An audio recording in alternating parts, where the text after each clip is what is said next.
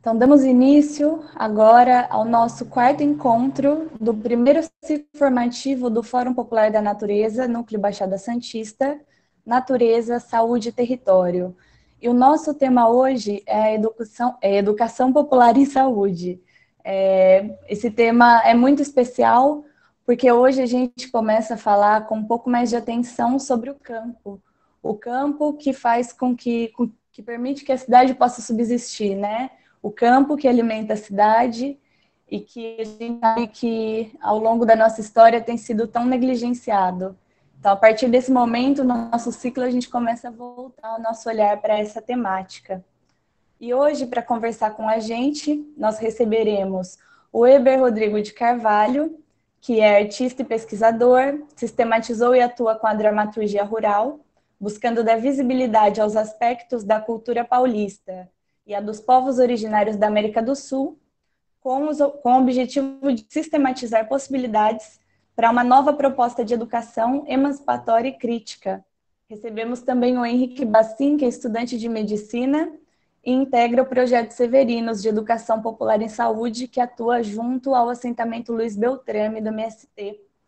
E receberemos também a Luana Lima Cunha, residente em saúde da família do campo, membro fundadora da LASCOM e, do, e é membro também do Fórum Estadual de Soberania e Segurança Alimentar de Pernambuco. Para que a gente comece o nosso encontro, então, é, gostaria de chamar o Weber para conversar com a gente e contar um pouco da dramaturgia rural e dessa experiência, esse diálogo entre a arte e a sala de aula. Weber, a palavra é sua, fique à vontade. Boa noite. Estou aparecendo, será?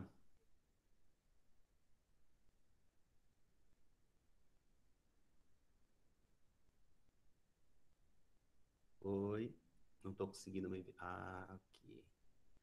Não sei se vocês estão me vendo, eu não consigo me ver. e estão me ouvindo? Que bom.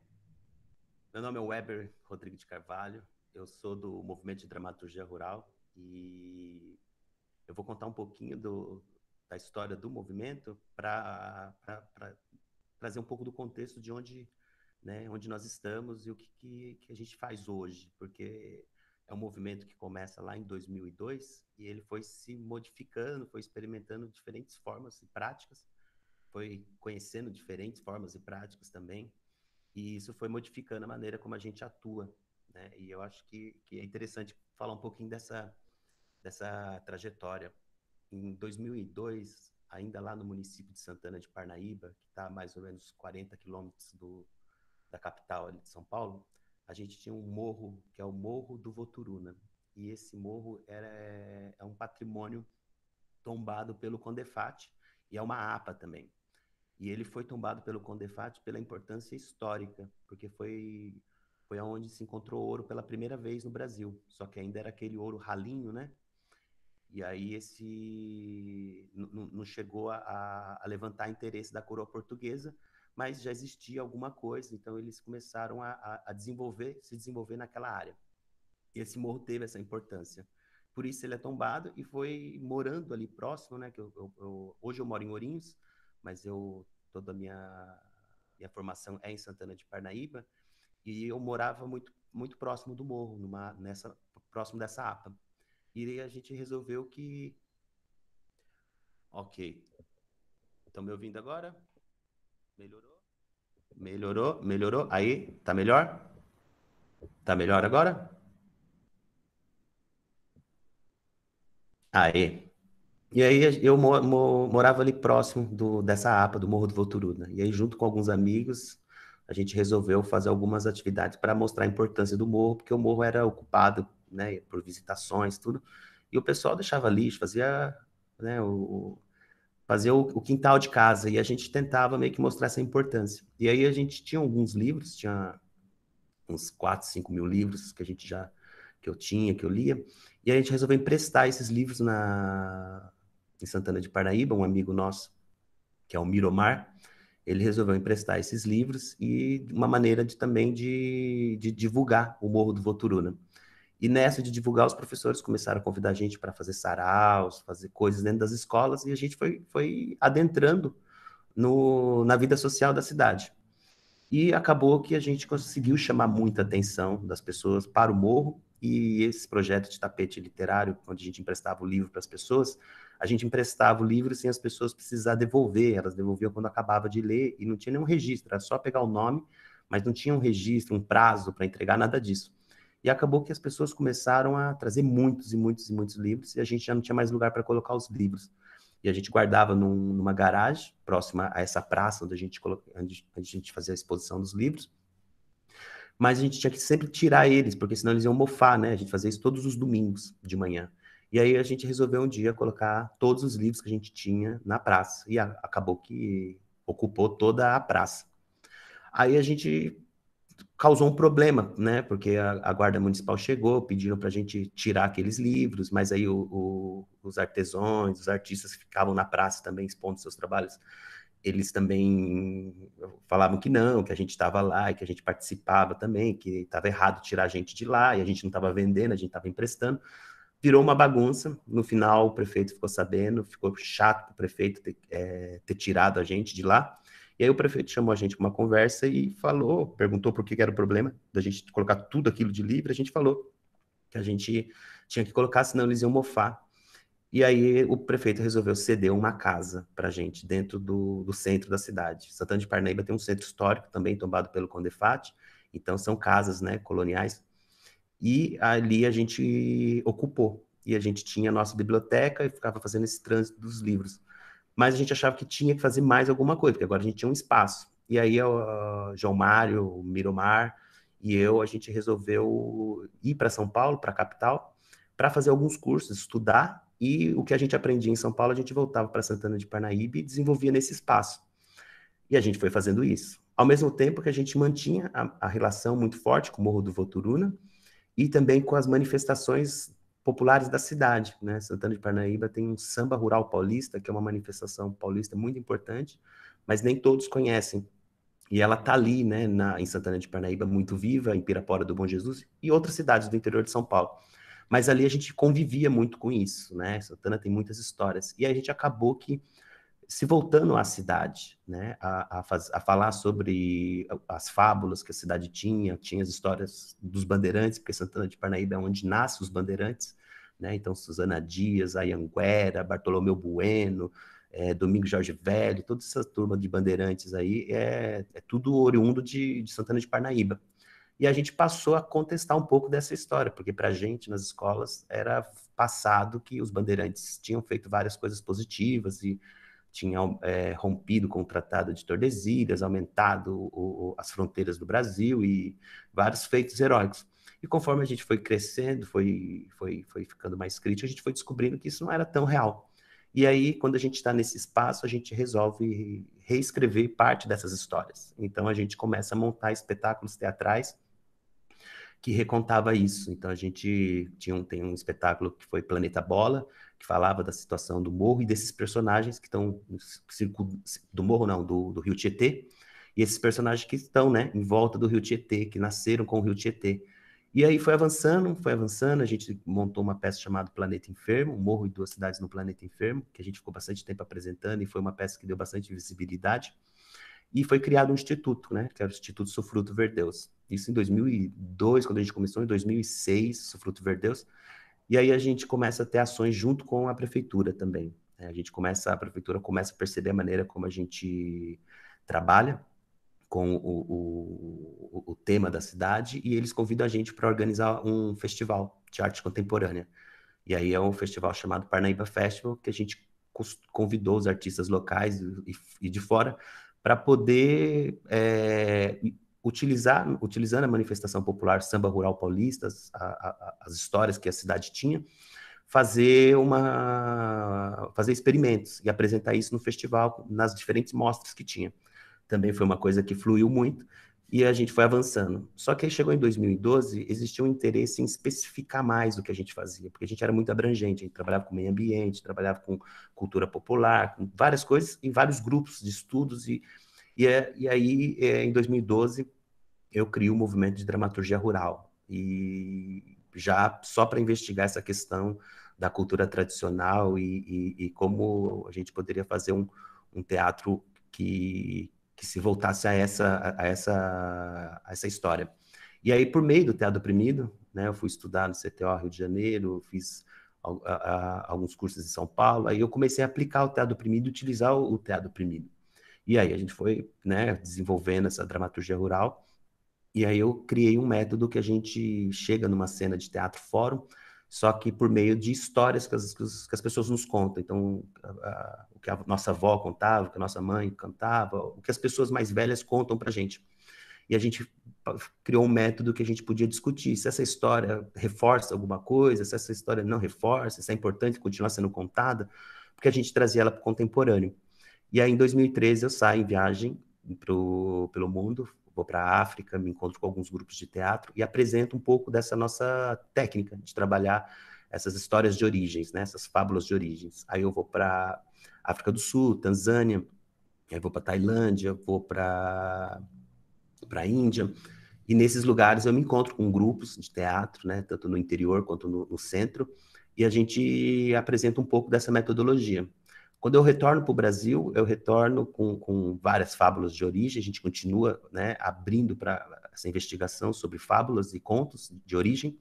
E aí, trabalhando com, com crianças, eu tentei inserir a possibilidade de fazer teatro fórum com crianças. E aí eu coloquei mesmo, essa mesma estrutura da fábula e utilizei o objeto. Na fábula sempre existem objetos mágicos. E eu inseri esse objeto mágico com as crianças, e as crianças participaram disso e, e, e começaram a, a, a, dar resultado, porque por meio do objeto a gente conseguia discutir várias questões que as crianças né, que queriam trazer para a gente, mas a gente acabava com um olhar de adulto não, não se voltando a isso. E aí aplicamos isso com o MST, no, nos encontros municipais, encontros estaduais, encontros regionais sem terrinha, e para experimentar, para ver se era possível fazer esse teatro oprimido com crianças. E aí a gente pega e, e apresenta, aplica, deu certo, a gente conseguiu fazer isso. E aí em 2017 eu, eu venho para Ourinhos estudar geografia, porque uma, era uma maneira de eu conceituar né, tudo esse, todas essas técnicas que a gente trabalhava. E aqui, em, em Ourinhos, fazendo geografia, o grupo me juntei com outros, outros geógrafos, outros atores, outros artistas, e a gente criou um grupo que é o CALAT, que é a Cartografia Latino-Americana de Teatro, que também faz parte desse bojo do movimento de dramaturgia rural. E nesse, nesse, nesse, nessas nossas experimentações, a gente insere também a educação popular. E eu vim para o curso de Geografia porque, ainda em Santana de Parnaíba, a gente montou um cursinho, que era o cursinho da Mística, que era um cursinho só com artistas. Então, todos os nossos professores eram artistas e eles experimentavam, por meio das artes, é, trabalhar o conteúdo do vestibular. E como eu participei desse processo, eu dava aula de teatro, eu acabei prestando o vestibular, que eu tenho 34 anos, hoje 36, e eu prestei o vestibular e, e, e passei. Eu falei, agora eu vou, vou seguir isso daí. E aí vim para cá e aqui eu continuei fazendo essas coisas. Tanto que eu compartilhei com a, com a Júlia, um, um vídeo nosso onde a gente trabalha o, a geografia e a música, porque é uma série de vídeos que a gente quer fazer de geografia e, e, e a arte, né? Então a gente começou com a música, geografia e música, depois geografia e dança, geografia e, e, e, artes visuais. E a gente quer, quer meio que tentar trabalhar um pouco disso, porque a gente é ligado à educação popular, a, a propostas pedagógicas que sejam diferentes dessas que a gente tem. E aí a gente faz isso experimentando. Um dos vídeos está aí, se vocês puderem depois é, assistir e compartilhar também, porque a gente gostaria que chegasse no maior número de professores, porque são propostas de sala de aula. Então, de que maneira os professores poderiam trabalhar alguns assuntos junto com a apostila que, que eles têm que, que trabalhar, junto com esse conteúdo, como que eles podem fazer isso dentro da sala de aula. E o vídeo, coincidentemente, trata da, do agronegócio, a música do Reis do Agronegócio, e, e fala um pouco disso, né? Qual que é a, a relação do agronegócio e, e, e, o território. Então é interessante. Hoje o movimento faz isso. A gente tem um espaço chamado TEIA, que é um território híbrido de educação integrada à arte, que é um espaço onde a gente estuda alternativas de organização espacial, que seria a especialização do território, para melhor produção. Então, a gente tem um espaço que tem uma cantina, tem um, um, quarto com duas beliches que funciona como residência artística, tem um estúdio de gravação, tem um armazém, tem uma sala de vídeo, tem uma sala de oficina e no entorno do espaço tem uma área que a gente tem uma horta pequenininha e, e onde a gente desenvolve as atividades. Com a pandemia, a gente não está fazendo isso, a gente está dando mais ênfase a, a essas questões do, do audiovisual, então a gente está tentando montar esse programa, tudo. Mas a ideia mesmo é fazer com que esse espaço seja um lugar que catalise, né, tanto os pequenos produtores quanto os artistas, e que potencialize, né? Então a gente organiza o espaço de uma forma para que ele possa potencializar o que já é feito. Então a gente cede infraestrutura, a gente cede o espaço e esses artistas ocupam esse espaço, produzem e, e, a gente divulga na nossa plataforma, eles divulgam na plataforma deles, mas é um experimento de uma ocupação de espaço mais organizado, no caso, né? Esse é um pouco do, do que a gente faz hoje. O movimento de dramaturgia rural é um conjunto de, dessas três técnicas, né? A técnica que trabalha com contos, a técnica que trabalha o teatro oprimido com crianças, eu não sei se todo mundo conhece o teatro oprimido, mas é uma, é uma prática teatral do, brasileira, do Augusto Boal, onde as pessoas contam a sua própria história e a partir da sua própria história a gente constrói uma dramaturgia que, ao final, o personagem pode conseguir ou não conseguir aquela história que ele contou. E ele sempre conta uma história de opressão, então uma história onde ele não tem poder sobre a situação. E essa história é, é, é encenada.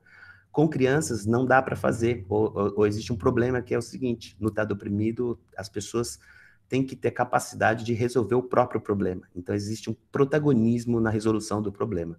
Com a criança, a gente sabe que ela não tem esse protagonismo na resolução do problema. Ela sempre precisa de uma pessoa para estar tá auxiliando ela, um adulto, tem que estar tá sempre ali. E aí é sempre difícil fazer cena fora. Então se costuma trabalhar muitas coisas com, com, com crianças de teatro oprimido, mas não necessariamente uma cena fora. Tanto que no, no encontro estadual do MST, eu fui convidado para assistir uma cena de teatro fórum e, eu, e a cena era criança sem terrinha, fazendo o papel dos pais, policiais sem terrinha, todo mundo era pequenininho. Então eram os adultos em miniatura e eles estavam debatendo esse problema quando no final era um problema dos adultos e não das crianças, porque quando a gente faz essa oficina de teatro do oprimido com as crianças, o problema deles está ligado a coisas muito simples e que para a gente, no mundo adulto, é algo que não tem importância, que é quero mexer com uma faca, eu quero matar meu irmãozinho, eu quero o meu tiranossauro rex, coisas que eles querem. E é interessante, porque você começa a, a, a, o diálogo com essas crianças muito cedo, né? É uma técnica voltada para crianças de 6 a 9 anos. Então, é um grupo pequeno que não, não participava né, disso. E essa tentativa nossa de, de ação, enquanto ter um espaço, enquanto geógrafos, a gente discutir dentro desse nosso espaço formas de produções que não seja hegemônica. Então, por meio da economia criativa, por meio da educação popular, por meio de uma de uma de uma estética do oprimido, a gente tenta colocar, né, em prática boa parte daquilo que a gente adquire dentro da academia, mas a gente tenta trazer isso para fora da academia e, e, e, criar estruturas e possibilidades para esses artistas que estão aqui no nosso entorno de Ourinhos, é, Assis, Bauru, Marília, Chavantes, Canitar, Santa Cruz do Rio Pardo, todas essas cidades aqui próximo, para tentar dar visibilidade para esses grupos e não só também dar visibilidade, mas é, acompanhar né, como, como são esses processos, né? porque no final a gente somos investigadores de processos. É um pouco isso que o movimento de dramaturgia faz. Junto do movimento tem vários outros coletivos que compõem, que são coletivos que trabalham samba de bumbo, outros coletivos que trabalham a questão da mulher negra, outros coletivos que trabalham só com, com, com cursinhos vestibular, pré-vestibulares. Então, o movimento é um coletivo com coletivos, diferentes coletivos, mas no final todo mundo se volta a esse debate de uma arte e educação emancipada, né? E que seja uma estética dos oprimidos.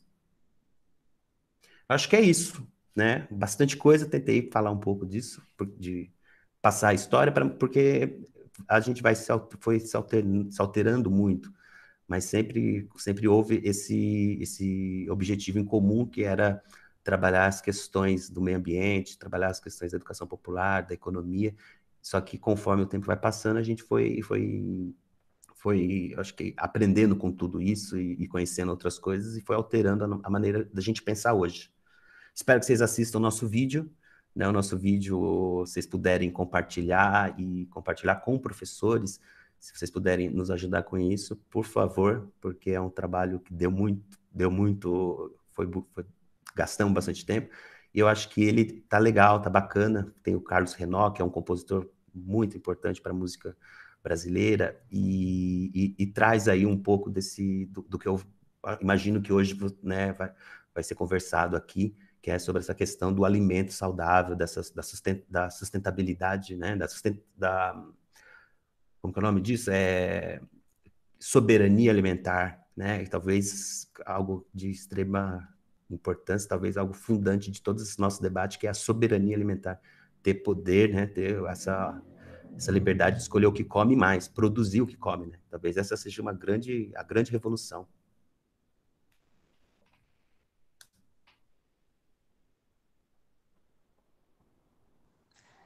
Muito obrigada, Weber. É, tenho certeza que essa fala inspirou muita gente que está aqui. É, foi muito emocionante poder te escutar, contando um pouco sobre a dramaturgia rural.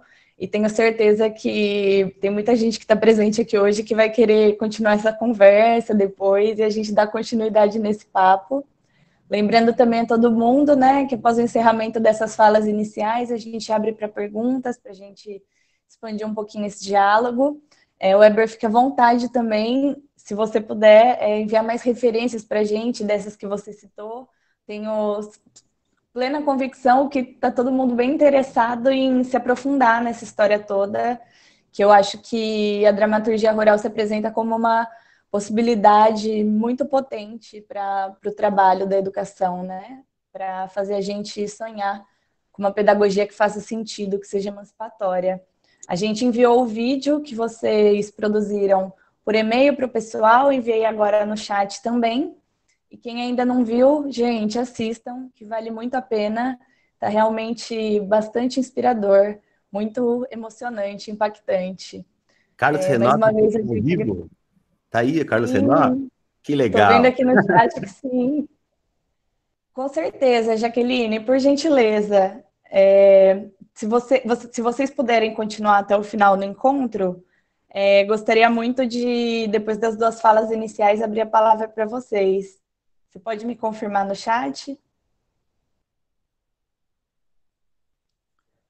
Muito obrigada.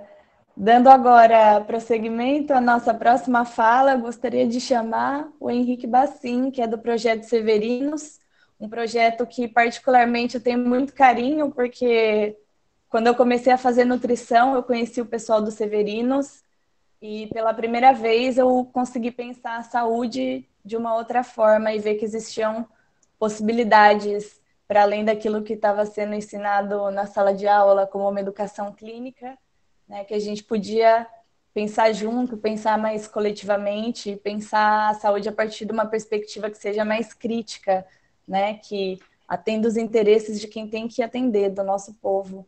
Então, com muita alegria, com muita satisfação em receber o Henrique aqui hoje, gostaria de passar a palavra para ele. E aí, Henrique, pode dar um toque que a Natália vai colocar a apresentação para transmitir assim que você der um ok, tá bom? Muito obrigada. Tá bom. É, boa noite a todas e todos. Primeiro que é um grande prazer é, poder falar sobre esse assunto hoje. É, nesse friozinho, estamos em 46 pessoas. Então, é com muita felicidade, porque esse é um daqueles encontros que a gente sai com a cabeça mil, pensando em um milhão de coisas que a gente pode fazer. É, eu, inclusive, Weber, já estou aqui anotando seu contato, porque eu sou de Marília.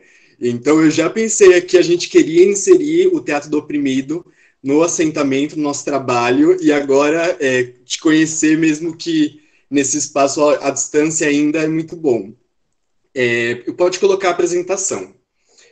É, queria agradecer, primeiramente, por esse espaço e dizer que falar sobre educação popular é falar sobre uma educação que seja, é, seja de fato emancipadora e seja diferenciada do que a gente tem hoje. Então, pode colocar a apresentação, por favor.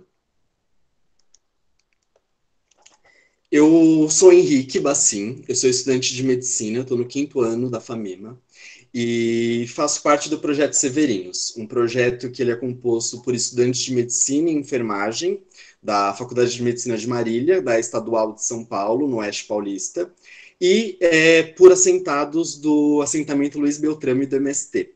Então, é um projeto que ele surgiu em 2016, eu estava no primeiro ano da faculdade, e, e ele se, se perpetua e se fortalece mais a cada dia. E aí, é, falar sobre educação popular é falar sobre o assunto que mudou a minha vida e que mudou, na verdade, a minha concepção sobre o que é ser um profissional de saúde.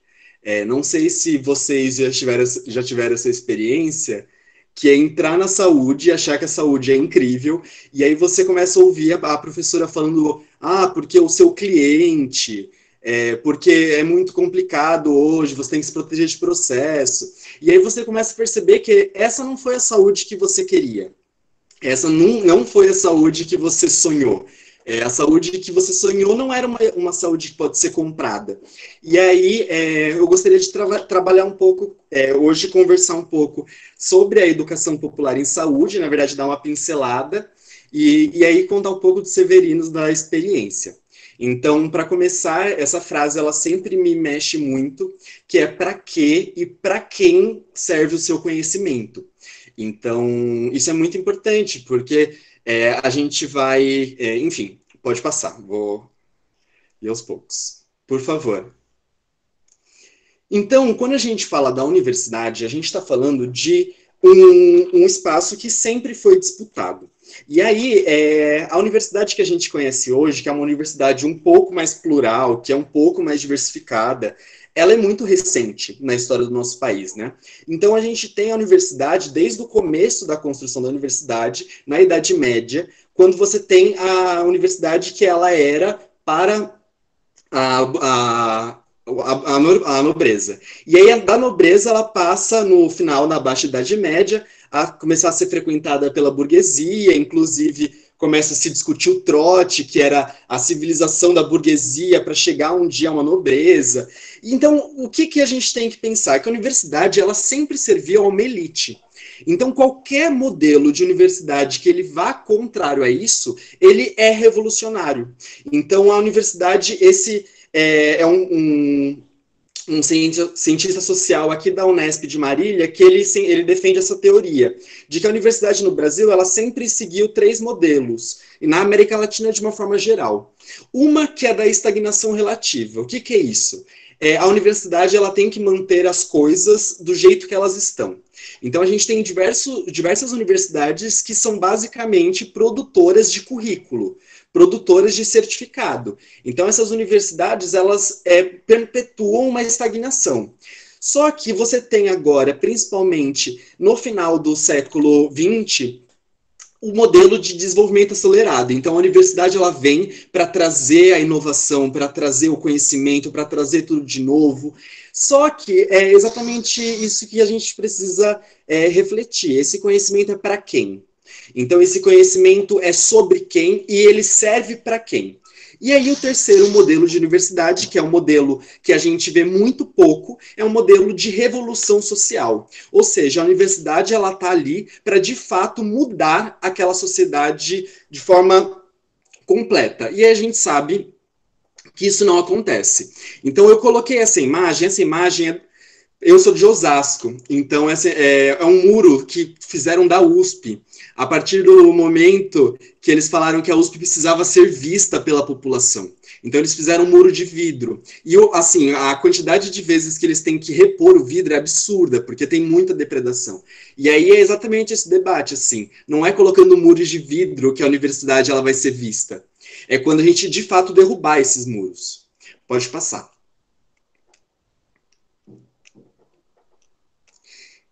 Nossa, ficou diferenciado, mas vamos lá. É, a gente tem que entender também qual o papel do conhecimento científico, porque agora a gente está num momento muito crítico em que o papel o conhecimento científico ele está sendo questionado a todo momento. Mas a gente tem que entender que esse papel, esse conhecimento científico, muito obrigado, querida. Esse conhecimento científico, ele foi o mesmo que criou a bomba atômica, ele foi o mesmo que fez com que a exploração do homem pelo homem se intensificasse cada dia mais, e mais do que isso, esse conhecimento científico já defendeu teorias é, extremamente é, é, discriminatórias. Aqui eu, eu, trouxe um exemplo de inúmeros estudos durante a, o final do século XX traziam que os negros eram inferiormente, eram inferiores é, intelectualmente com, por conta do, da circunferência do cérebro. E tem inúmeros da Lancelet da, e, e revistas renomadas que isso aparece. Pode passar. Então a gente tem que pensar o que, que como que o Brasil, como que a universidade no Brasil ela se dá? Porque a universidade no Brasil não é a universidade nos Estados Unidos, não é a universidade é, no, é, norte-americana. É, a gente não está falando de Harvard, a gente não está falando de Cambridge, a gente está falando do Brasil. Então, o Brasil, ele é um país dentro do capitalismo na periferia. Então, ele vai servir a uma, a, aos interesses das grandes empresas. Então, a gente está falando, como todas as pesquisas, o Brasil, ele se encontra enquanto 14º em maior produtor de, de artigo científico, só que quando a gente vai ver o impacto dessas produções, ele está em 24º. Então, a, a nossa ciência ainda é uma ciência que ela está muito restrita aos grandes centros, então ela está restrita a USP, é, Unicamp e Unesp, então pode passar. E ela está restrita a um conhecimento que não é o conhecimento necessário para o nosso país. Então, eu trouxe aqui, quando a gente vê o estudo de, de doenças negligenciadas, a gente está falando do país em que mais se morre de tuberculose, em pleno 2020. Então é tão absurdo, porque a gente está falando de pessoas que estão na mes no mesmo bairro, basicamente, bairros laterais no Rio de Janeiro. Um tem saneamento, outro não tem. Um morre de tuberculose e o outro não. Por quê? Porque se é rico ou se é pobre, se paga ou não por isso. Então a gente vive numa sociedade em que só se vai estudar o que se dá lucro. Então aqui mostra que houve uma redução de 42% nos estudos de doenças negligenciadas. E aí quando a gente fala, por exemplo, do momento que o Brasil se encontra hoje, do investimento na ciência, a gente está falando de uma ciência que está destruída. E o que que isso tem a ver com uma educação popular? Pode passar. A educação popular ela vem para ir contra exatamente todo, toda essa lógica de que o, o conhecimento científico ele vai ser dado para a, a elite. Então a gente tem que pensar que a educação ela nunca vai ser neutra. Isso eu acho que é um, é um consenso. Assim. A educação não é neutra. Escola sem partido não existe. Ela vai ter um partido. Basta saber qual partido ela vai, ela vai defender. E aí aqui eu trago um, um estudo que foi publicado agora pelo JAMA, que é um grande jornal, que mostrou que a indústria do açúcar, durante anos e anos, mudava os conhecimentos científicos, as produções que eram feitas nos jornais com base nos seus interesses. Então foram mostrados inúmeras trocas de e-mail de indústrias do açúcar, conversando com pesquisadores, financiando pesquisadores para jogar culpa para a gordura. Então, o que eu gostaria de trazer, nem os conhecimentos que a gente diz é, científicos, nenhum conhecimento ele é produzido sem ser político.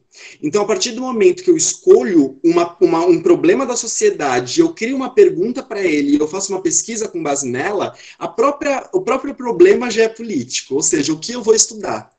E aí, quando a gente pensa no nosso papel enquanto universidade, é muito complexo. Pode passar. Porque a gente está sendo financiado por grandes empresas. Então a gente está falando da. Olha, e aí a gente está falando, e essa, essa fala traz muito em relação ao fórum, assim. É, quando a gente vai ver, por exemplo, os, os cardápios dessas instituições grandes, renomadas, que a gente usa para é, falar, ah, não, porque a American Diabetes Association defende que. E aí, quando a gente vai ver quem financia ela, é, quem paga a conta define a música. Então, a gente tem aqui ah, muito claro que os cardápios da American Heart Association, eles trazem inúmeros embutidos, que já são comprovadamente A1 em câncer, ou seja, são os alimentos junto com cigarro é, que definitivamente já são comprovados que causam câncer. E aí a American Heart Association, a American Cancer Society, defende que é, pode comer. Ou seja, até o conhecimento que chega até nós, ele é manipulado. Mas isso não é uma terapia, é, não é um, um, uma teoria da conspiração. Mas é para a gente discutir que essa universidade, ela sempre está em disputa. O conhecimento que a gente tem na sala de aula, ele é, uma, é peneirado de inúmeros outros conhecimentos que poderiam ser dados, e a gente sabe disso. E pior do que isso, como esses conhecimentos são dados? Pode passar. E aí a gente está falando desse momento em que o pensamento crítico é, ele está sendo atacado. Então, a, eu gosto muito, quem trouxe essa analogia foi Marx.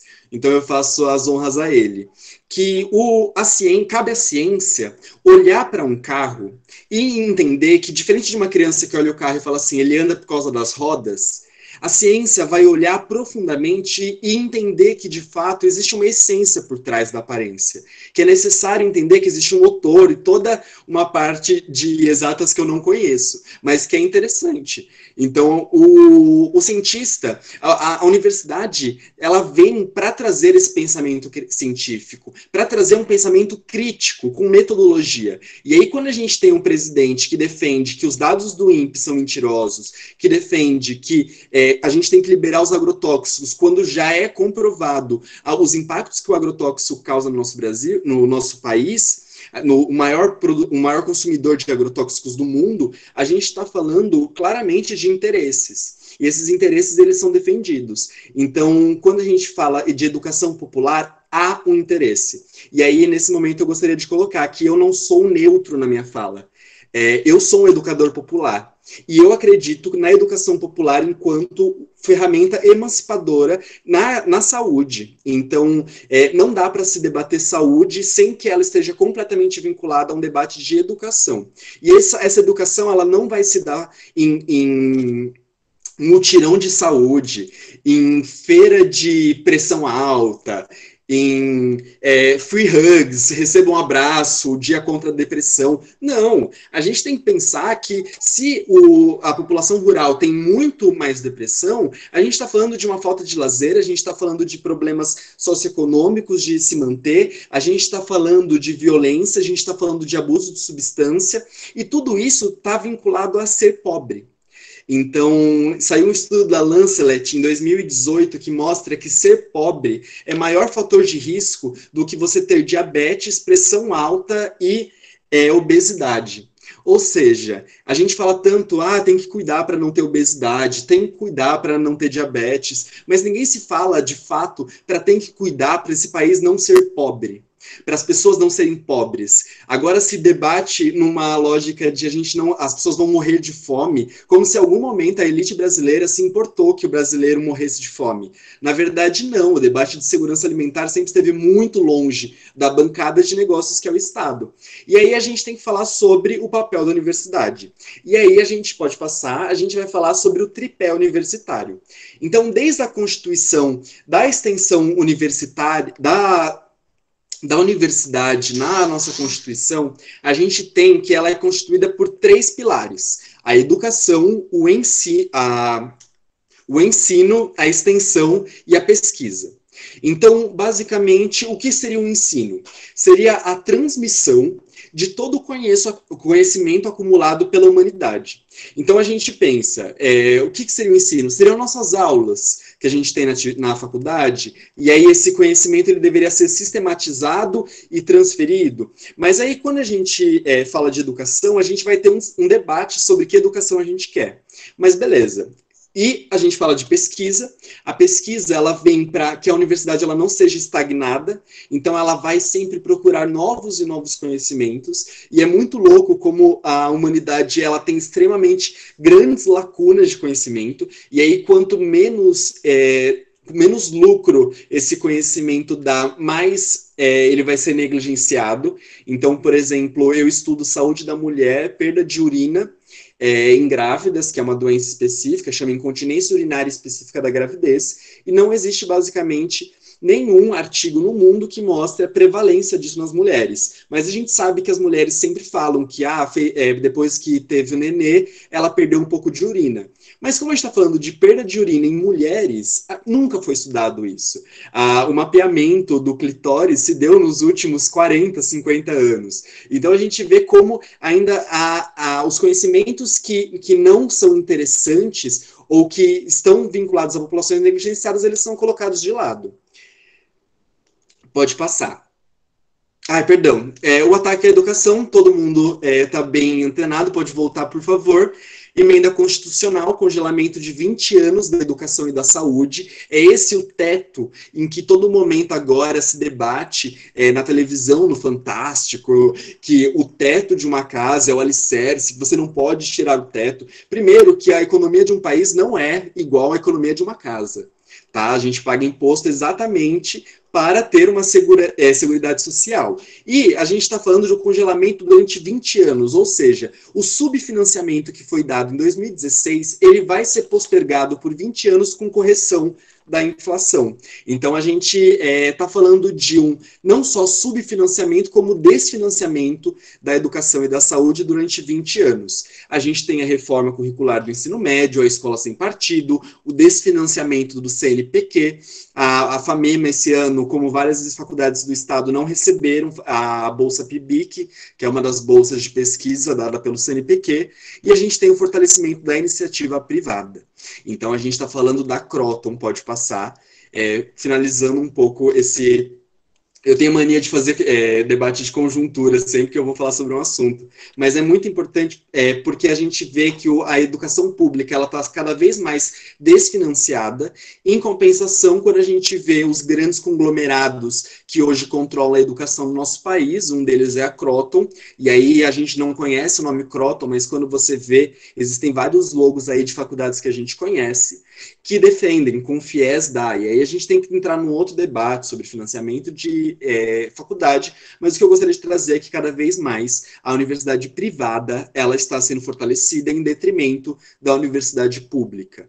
Então, a partir do momento que há uma mercantilização, exato, Dani, é, já viramos íntimos, existe uma mercantilização da educação, a gente está falando de um fortalecimento da educação privada que não defende o tripé então, se a gente, na, na, universidade pública, a gente ainda tem que debater com muita profundidade que existe uma extensão que, basicamente, os professores não lembram. Então, além do ensino e da pesquisa, existe extensão, que é extremamente necessário. É, a gente sabe que a universidade privada, infelizmente, está muito, é, tá muito distante do debate de produção de ciência, socialmente referenciada, então, jamais. E é, em relação a. Pode passar em relação à extensão. E aí a gente está falando de saúde no Brasil, a gente está falando de saúde em um país que de 1543, que foi a fundação da primeira Santa Casa em Santos, até 1988, ou seja, durante 445 anos, não teve saúde enquanto direito. Então a gente está falando de é, um direito de saúde que é muito recente. Muitos de nós nascemos antes da, da saúde ser um direito. Isso é bem desesperador. E aí a gente está falando de um país que até hoje saúde ela é, ela é garantida na Constituição, mas ela não está na realidade da população brasileira. Pode passar. E aí eu quero falar dos Severinos, que é a parte importante, que é da, o, o que a gente faz em relação a isso. Então, eu gostei muito quando o Weber falou que quando ele viu, ele estava inserido no meio da comunidade. E, e, eu gostaria de colocar isso primeiramente. Quando a gente fala de uma educação popular, a gente está falando de é, uma educação que vai ser feita com a comunidade. Então não basta a gente, não dá para programar um projeto de educação popular é, na sala de aula com meia dúzia de pessoas, ou você juntar o seu centro acadêmico e falar, vamos criar uma extensão popular, quais os qual o programa, quantos dias, Primeiro, é, para a gente pensar numa educação popular, ela, ela deve ser construída com a população. Então, ela tem, com, tem que ter como base as demandas da população. Pode passar. E aí, quando a gente fala de ter as demandas da população, a gente fala de estar com a população. Então, é, para isso, a gente tem que quebrar o muro.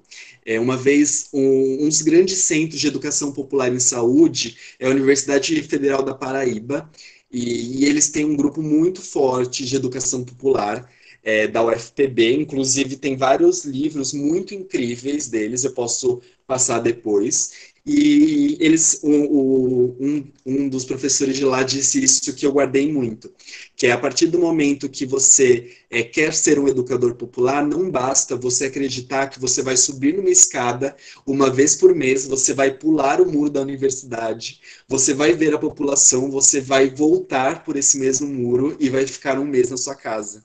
Isso não é possível, porque a partir do momento que você se reconhece enquanto educador popular, você sabe que você tem que estar fora dos muros da universidade e, ao, a, e estar ao lado de muita gente para tentar derrubá-la a todo custo. Então, eu defendo uma universidade que é popular, e obviamente não se dá para ter uma universidade popular hoje, no sistema que a gente tem hoje. Mas a uma universidade popular, ela é uma universidade que é baseada numa educação pública, é, de qualidade, estatal, e 100% gratuita, de com acesso e permanência, não basta você colocar o pobre na universidade se você não vai conseguir deixar mantê-lo, é, não, vai, não vai conseguir, não vai permitir que ele tenha permanência, perdão. É, eu acredito em uma universidade que tenha uma pedagogia histórico-crítica, que debata a educação popular. Não dá mais para a gente pensar em educação numa sala de aula durante 40 minutos. É, isso é muito distante, assim, do... A gente está tendo as mesmas aulas que a gente, do mesmo modelo que a gente tinha quando a universidade surgiu na Idade Média. E eu acredito numa universidade democrática, enfim, é, eu acredito numa universidade que seja pintada de povo. Então, para isso, não basta mais. É, não, as, só as cotas não serão, não, são possíveis. A gente precisa de mais. A gente precisa de mais do que é, permitir que as pessoas entrem na universidade. A gente precisa que essa universidade ela esteja a serviço da população. E aí, pode passar. Quando a gente fala da extensão popular no nosso país, é muito recente. A gente está falando de, da primeira institucionalização da educação popular, foi feita em 1963, com o Plano Nacional de Alfabetização, com Paulo Freire. Então, Paulo Freire, ele era da Universidade da, da, de Pernambuco, a, que atual hoje é a Universidade Federal de Pernambuco, ele era professor, e ele coordenava um grupo de extensão. E aí, nesse grupo de extensão, ele começou a realizar um processo de alfabetização, e aí, por conta do sucesso dele, ele foi convidado para coordenar o Plano Nacional de Alfabetização em 64, e aí ele alfabetizou mais de 5 milhões de brasileiros, de mais de 20 mil comunidades. Então, se alguém, sempre que alguém pergunta para mim se a, a, educação popular ela é efetiva, eu acho que Paulo Freire é nosso maior costa quente de falar. Mas logo em 64 a gente tem a ditadura militar e a gente teve é, apenas após 50 anos, a gente está num processo ainda que a educação popular ela é um assunto que é, incomoda. E por que, que eu quero dizer isso? É, eu sou do Projeto Severinos, agora eu vou falar do amor da minha vida, eu tenho oito minutos. E o Projeto Severinos ele surgiu em 2016, da articulação dos estudantes de Medicina e Enfermagem da Faculdade de Medicina de Marília, que é uma estatal. É, e aí, é, a história ela se deu basicamente, a minha eu compartilho muito com o Weber quando é, do nada aconteceu. Então, basicamente, é, sempre que alguém me pergunta como começar um projeto de extensão, como começar um projeto que pense educação popular, é conheça a, as, a, conheça a comunidade. Busque na comunidade é, entender quem são as pessoas que estão articuladas, lutando pelos direitos dessa comunidade. E aí, aqui em Marília, a gente se aproximou de um assentamento que, na verdade, não fica na cidade, ele fica cerca de 40 minutos daqui, que é o Engalha. Ele fica mais próximo de Bauru, mas a gente começou a trabalhar no assentamento e a gente percebeu que existiam inúmeras fragilidades. Então, é, eu vou é, levantar algumas, mas basicamente é, todos ah, os problemas possíveis de uma comunidade estavam presentes ali.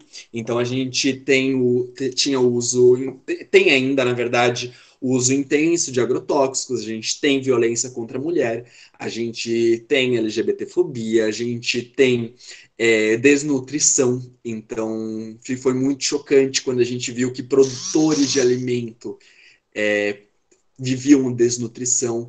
E aí o que eu quero trazer, assim, é, eu sou de Osasco, como eu coloquei, e por que que eu acho isso importante? Porque é, quando as pessoas falam assim, ah, eu quero começar um projeto de extensão rural, mas eu não conheço nada do campo, é, a ideia da, da educação popular é exatamente essa troca. Então a gente tem que parar de sempre pensar na lógica de que a universidade ela, ela vai salvar alguém. Na verdade, a universidade ela tem que estar ao lado da, da, dos trabalhadores. Então, a gente tem que pensar numa universidade que vai ter tanto a educação pautada nas necessidades da população. Então, a gente tem que estudar o que a nossa população de fato precisa. Então, na, na nutrição, se debate de fato soberania alimentar, com um debate sobre agrotóxicos, um debate sobre a luta, a gente sabe que não. E, e isso é muito complexo, porque é, é, isso que a nossa população brasileira precisa. É, na saúde, a gente precisa da tuberculose. E, e na medicina, por exemplo, eu estou no quinto ano, a gente teve um, é, um espaço para debater tuberculose. E é o país que mais tem. A gente está falando de uma educação que não serve à população, mas mais do que isso, uma pesquisa que não está vinculada às bases populares. Então, a gente está pesquisando coisas, muitas vezes, que a indústria farmacêutica manda, e a gente está fazendo uma extensão que é extremamente assistencialista. Então, a gente tem que sempre, quando a gente vai criar uma extensão, é, construir uma extensão, na verdade, com é, os trabalhadores, a gente tem que tomar muito cuidado com o assistencialismo. Porque, ao mesmo tempo que ele é necessário, e ele é necessário para manter vidas. Então, é, agora no assentamento, agora na, no, no, coronavírus, mais do que nunca, o Projeto Severino está com um projeto é, assistencialista de é, conseguir cesta básica, a gente fez máscara, enfim. Mas contando a história dos Severinos, é, o projeto surgiu dessa aliança, a gente tem 77 famílias no assentamento, o assentamento é do tamanho de um município, então para você atravessar o assentamento, você demora de carro uns 40 minutos se a estrada estiver boa. E aí a gente foi para lá e a princípio era doutor, doutora, e era um, um espaço que o nosso principal problema é, levantado foi falta de vínculo, esse no primeiro ano. Então a gente não conseguia muito é, que as pessoas dialogassem com a gente num, num, numa forma tranquila. E aí, na verdade, a gente estruturou o projeto. O projeto hoje tem cinco anos. E a gente conquistou, essa fotinho aí é do centro de saúde. Então a gente conquistou com eles um centro de saúde, o centro de saúde Ernesto Che Guevara. Pra, para ter um coração basta é, para ouvir um coração basta ter um coração, que é a frase ali. E, e, a gente trabalha com base na educação popular em saúde. Então, pode passar. Eu vou contar um pouco, tenho alguns minutos. É, o projeto Severinos, ele. Nossa, deixa quieto. Não precisa se, se estressar, amiga. Pode passar, eu vou contar. É, o projeto Severinos ele surge em 2016 com a proposta de defender a extensão popular e ele surge é, de um grupo, na verdade, da, na época da União da Juventude Comunista, que começou a se articular junto com o Movimento dos Trabalhadores Rurais Sem Terra. E aí a, o MST, a gente teve essa, essa vinculação desde o princípio, e aí a gente foi se fortalecendo ao longo desses anos, e são inúmeras vitórias. Então aí eram várias imagens, mas eu vou contar um pouco para vocês. A gente conquistou um centro de saúde que hoje tem dois consultórios, tem uma sala de recepção, cozinha, que era uma casa abandonada da antiga fazenda e que a gente conseguiu com a secretaria uma parceria. Então eles vão uma vez por mês fazer o atendimento e nós vamos no último final de semana do mês. E a ideia do Severinos é que a gente não é, vai se, se, limitar apenas a tratamento. Então, a gente, é, a nossa proposta, diferente de outros projetos de extensão no país é, rural, não é levar apenas é, atendimento, mas mais do que isso, levar, levar autonomia em saúde, levar um debate de educação em saúde. Então, a gente tem encontros, por exemplo, em que os assentados nos ensinam sobre é, agrofloresta, que o nosso assentamento ele tem é, agroecologia com muita força. E, e aí a gente tem essas trocas. E aí, estendendo mais um pouquinho, tá ótimo. É, a gente está fazendo agora um estudo sobre saneamento básico, a gente está fazendo é, um estudo para ver a questão das fezes, da, dos parasitológicos, porque a gente sabe que tem muita contaminação. A gente tem uma vinculação agora com, é, as, com pessoas da Sabesp, que a gente está implementando agora é, a ideia da Fossa Verde, então é um projeto de saneamento rural. E tudo isso ele é debatido e construído por assentados e estudantes. Então a lógica é que o, o projeto Severinos ele não se fecha dentro de uma gestão na faculdade e muito pelo contrário ele não se dá apenas por alunos. Na verdade, é, hoje a gente conta com 55 pessoas é, que compõem o projeto. Existem inúmeros é, é, inúmeras pessoas que nos ajudam, apoiadores, né? A gente não tem recurso algum da faculdade. A gente, inclusive, teve inúmeros problemas, porque a gente não é regulamentado pela faculdade. E, a, a princípio, a gente teve vários eventos nossos barrados. Tenta, tentaram barrar, a gente é, não deixou, mas tentaram barrar por ser um, um projeto é, com o MST. Então, a gente trabalha educação, é, educação popular em saúde rural. A gente tem hoje a construção de uma cooperativa de plantas com as mulheres. Então, a gente percebeu que existia uma fragilidade no vínculo entre as mulheres e, e uma falta de renda e lazer. Então, a gente está constru tá construindo agora um, um, um, centro das mulheres, e a ideia é a produção de fitoterápicos, plantas medicinais que vão ser revendidas para o SUS. É, para além disso, a gente tem inúmeros projetos. Uh, eu vou encaminhar o link do dossiê do projeto. A gente fez um dossiê dos últimos cinco anos, e ele tem acho que umas 17 páginas e ele conta um pouco da nossa história. Mas o que eu gostaria de trazer hoje, pode passar, é que a educação popular, é, desformatou, mas a educação popular ela é extremamente necessária e ela é extremamente é, revolucionária hoje, porque a gente está falando de um modelo de produção de conhecimento e um modelo de universidade que ele vai estar tá vinculado à luta das classes, luta das classes trabalhadoras. Então a gente está falando de uma educação, de uma pesquisa e uma extensão que tenham bases populares, então que vão defender é, junto à classe trabalhadora por melhorias. Então entra muito essa questão de qual o nosso papel enquanto universidade. E aí eu queria trazer Marielle Franco, que sempre foi é, um exemplo de luta e que acreditava no mundo melhor, assim como todos nós. E ela está sempre presente na nossa luta. Tá bom? Queria agradecer novamente o convite e me coloco à disposição para as dúvidas.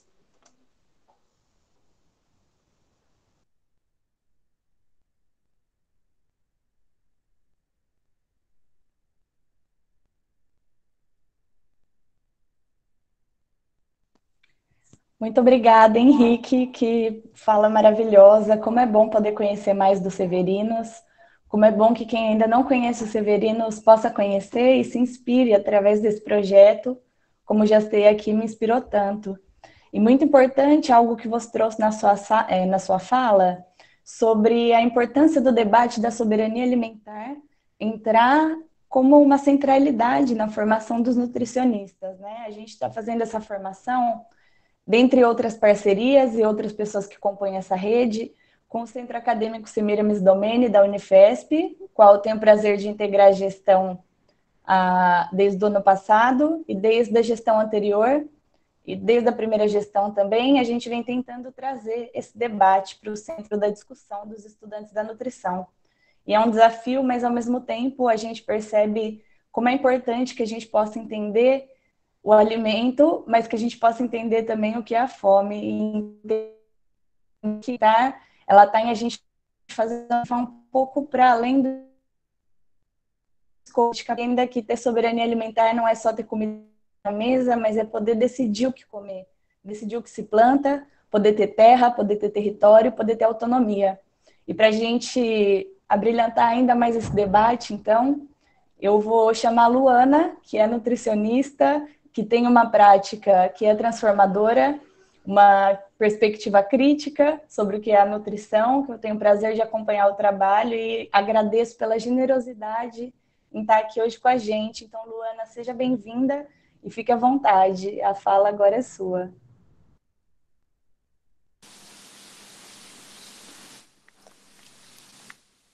Olá, gente, boa noite. Vocês estão conseguindo me ouvir bem?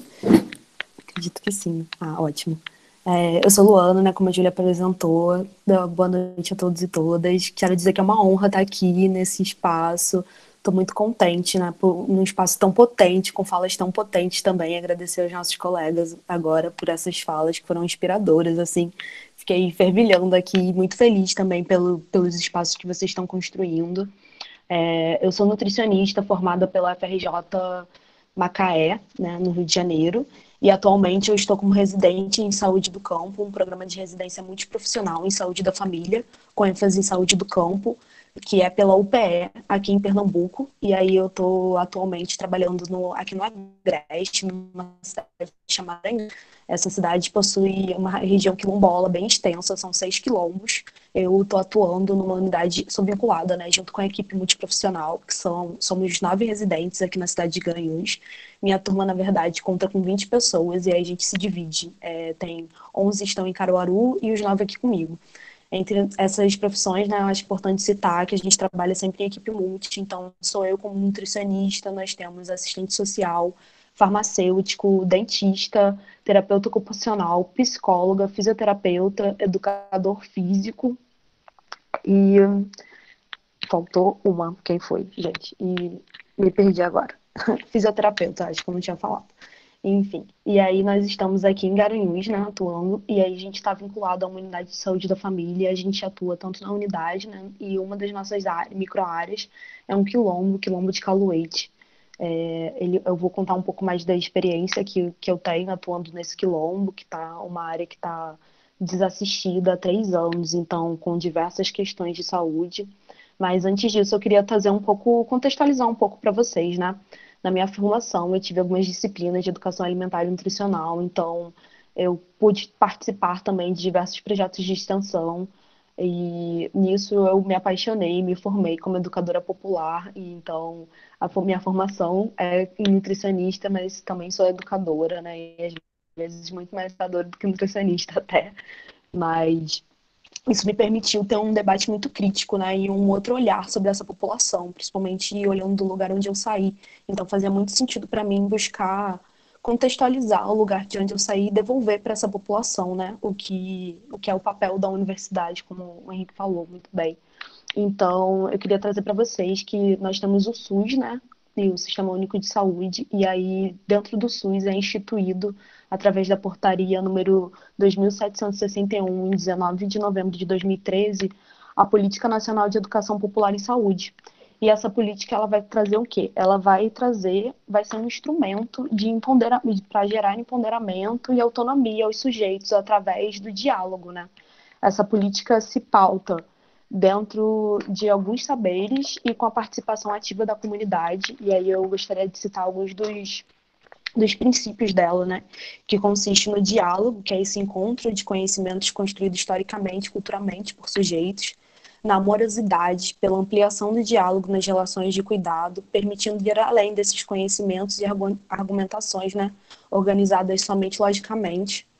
É, ela é pautada também na problematização, propiciando a construção de práticas em saúde com base em uma análise crítica da realidade, na construção compartilhada de conhecimentos, e na, na, emancipação, pela conquista da superação e libertação de todas as formas de opressão, exploração, discriminação, violência, que produzem a desumanização né, e os processos também, os determinantes sociais de adoecimento.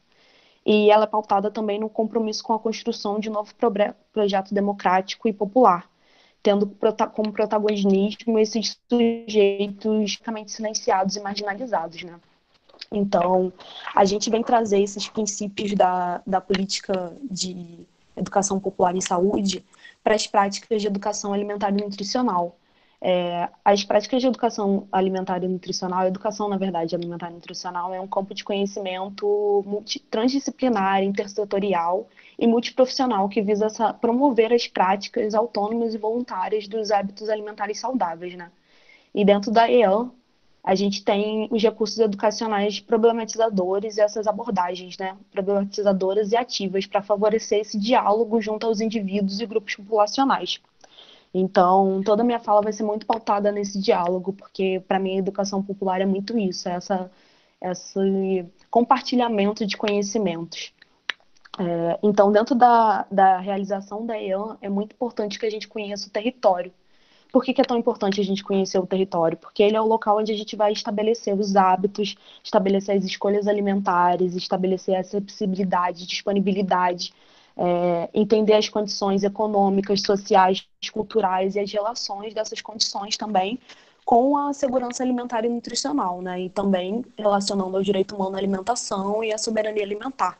Então é muito importante que a gente analise esse território para conseguir, analise não, né? Entenda e compreenda esse território, os tempos dele, para poder a gente pautar as nossas ações de educação popular. É, e essa questão do tempo, para mim, agora está sendo muito presente, porque eu estou dentro de uma região quilombola, né? Então, eu saí de um. Eu me, me formei no, na UFRJ do interior, né? Um campus do interior do Rio de Janeiro, mas mesmo assim com características ainda diferentes, né? Que agora eu estou em outro estado, então os tempos são muito diferentes, as formas de se construir socialmente, culturalmente, economicamente. É, e aí, pensar para pensar a EAN, então, é necessário muito esse reconhecimento do, do, do território e das condições de vida dessa população. E aí, o que, que eu observo muito aqui, trazendo um pouco agora para minha realidade, para minha experiência prática, né? Que a gente vê um processo histórico, né? A gente tem esse processo histórico de negação muito grande das, de terras aos povos que foram escravizados, né? Então, a gente tem nos quilombos uma maioria da população negra, uma maioria da uma população invisibilizada, é, até dentro mesmo da cidade onde se faz presente, então invisibilizada pelas políticas públicas, invisibilizada pelas políticas sociais e econômicas e pelos acessos também, né, a, a outras formas de construção da sua história.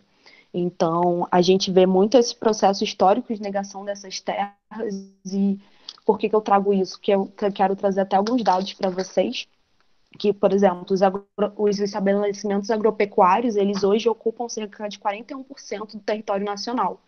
E isso é um dado do IBGE de 2017. E entre 2000 e 2013, por exemplo, a gente teve uma área dedicada ao cultivo de grãos com um crescimento de 50,8% e a de soja 116%. Por outro lado, no mesmo período, a quantidade alocada para a plantação de feijão, que é o alimento mais básico da dieta brasileira, teve uma diminuição de 13,2%. No território onde eu atuo atualmente, é, estão com diversas plantações de feijão. Júlia, que me acompanha no Instagram, sabe que eu vivo postando foto porque eu sou apaixonada por aquelas plantações.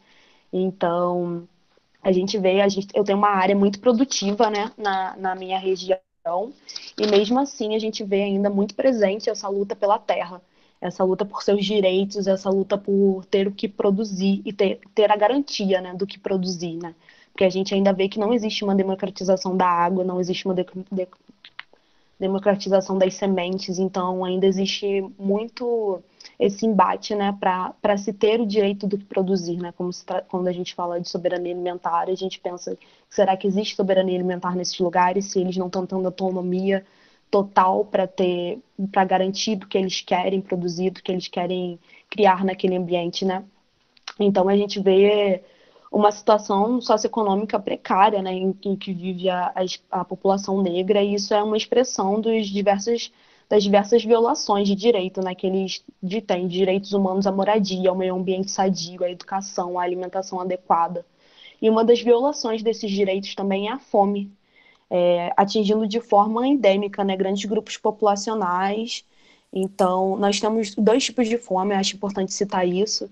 É, o Henrique traz por exemplo, que numa área de com MST, né, não se esperava ter pessoas desnutridas.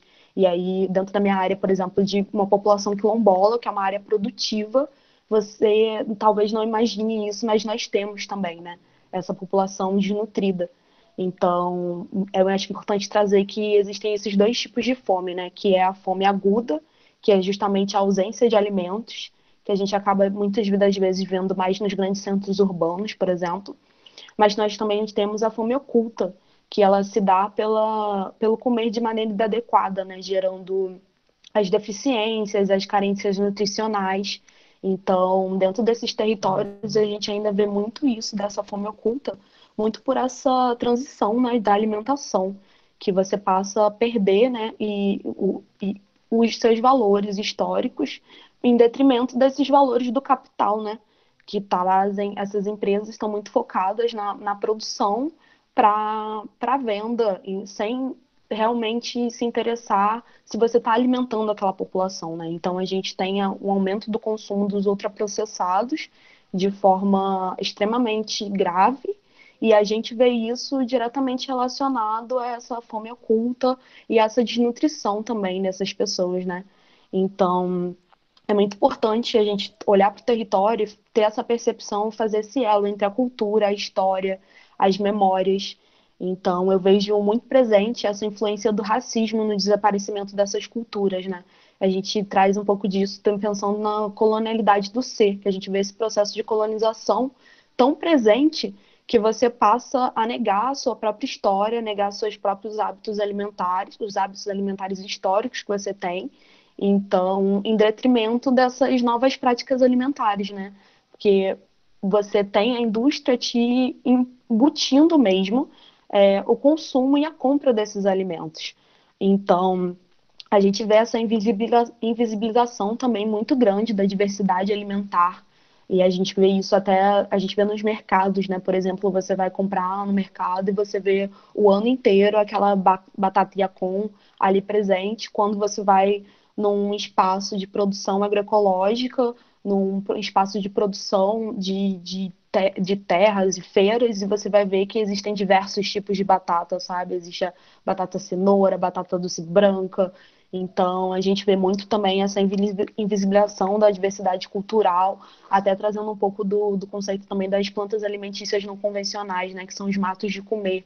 Então, aqui, por exemplo, a gente tem o caruru, que é uma planta comestível comum nesse território e que hoje em dia já se torna uma alimentação para os animais, já não se tem mais essa alimentação presente na, na dieta das pessoas, né? E aí você vê uma população que sai do seu território, um território produtivo, para ir consumir na cidade, comprar nesses grandes mercados, porque por esse processo mesmo né, de desaparecimento das suas culturas, esse, esse racismo que é muito presente né, na vida dessas populações e, e na né, disputa pela terra, na né, disputa por seu acesso à água, seu acesso às sementes. É, aí, pensando um pouco no, na minha experiência prática, né, para trazer para vocês, a gente tem algumas questões, por exemplo, no território, muitos presentes do, de ausência né, de saneamento básico. Por exemplo, a gente não tem coleta de lixo, o lixo é queimado, é, a gente não tem um acesso à água garantido, durante todo o período. Então, no que a gente tem pensado e atuado dentro, junto a essa comunidade é pensando as tecnologias sociais, né, que são as construções pautadas nessa, nesse compartilhamento de conhecimentos mesmo junto a eles, né, chegando e perguntando o que, que a gente pode pensar para solucionar determinado problema que existe aqui, né, sempre pautando muito também no, na, no ensino dialógico né, do Paulo Freire, na teoria da problematização. É, eu cheguei agora na residência nesse ano, é um programa de dois anos, e aí a gente chegou, e antes da gente entrar em território, a gente foi pego pela, pela pandemia né, do coronavírus, então está sendo um desafio muito grande como atuar enquanto equipe básica de saúde, enquanto equipe NASF, dentro de um território que tem uma questão de distância muito grande do centro do, da cidade, tem uma distância muito grande até mesmo da unidade de saúde. Então é um território onde a gente não vê aparelhos sociais ali do, do, até mesmo do SUS, não temos uma escola presente ali na área, não temos uma unidade de saúde. E aí como a gente pautar nossa atuação e como atuar ali, mesmo em meio a essa pandemia, com uma população que estava desassistida há anos, sabe? Então, é até curioso chegar e ser uma população, eu me apresentar enquanto nutricionista e apresentar o que eu sou, quem eu sou, o que eu posso contribuir, porque é uma população que não conhece as nossas categorias profissionais, então é muito trabalho a ser feito e aí a gente também se depara muito com os modelos biomédicos, né? Pautando muito nessa, nessa ideia curativa somente da doença. E a gente não quer fazer isso, né? A gente quer fazer educação popular em saúde, então a gente quer fazer o diálogo. Então, a gente se depara com isso e aí trazer né, isso também para a unidade, como trazer essa educação popular com essa educação permanente, fazer esse diálogo com a população, como cuidar dessa população e produzir promoção de saúde, né? Então, pensando muito nessa pandemia do coronavírus, por exemplo, uma das primeiras tecnologias sociais que a gente efetivou no território, que foi um projeto construído junto a eles, foi um lavador de mãos feito com cano PVC e garrafa PET. E aí é uma estrutura bem simples, com, que são dois canos ligados com duas torneiras embaixo. E aí uma fica com sabão e, e água né, misturado, e aí a outra com água e aí a gente colocou essas, essas estruturas, né, esse, esse lavador nas áreas de grande circulação de, de pessoas dentro do território. Então, já tentam fazendo essa educação mesmo também, pensando na prevenção dessa doença, né? E a gente entende que o, o tempo da comunidade é outro, então até o momento a gente ainda, por exemplo, não tem caso confirmado na, na, na comunidade, estamos pretendendo que continue assim, mas a gente percebe que eles têm uma preocupação contra a doença, mas como chega também essa informação para essa população, né? Então, o nosso trabalho ali de, de fazer esse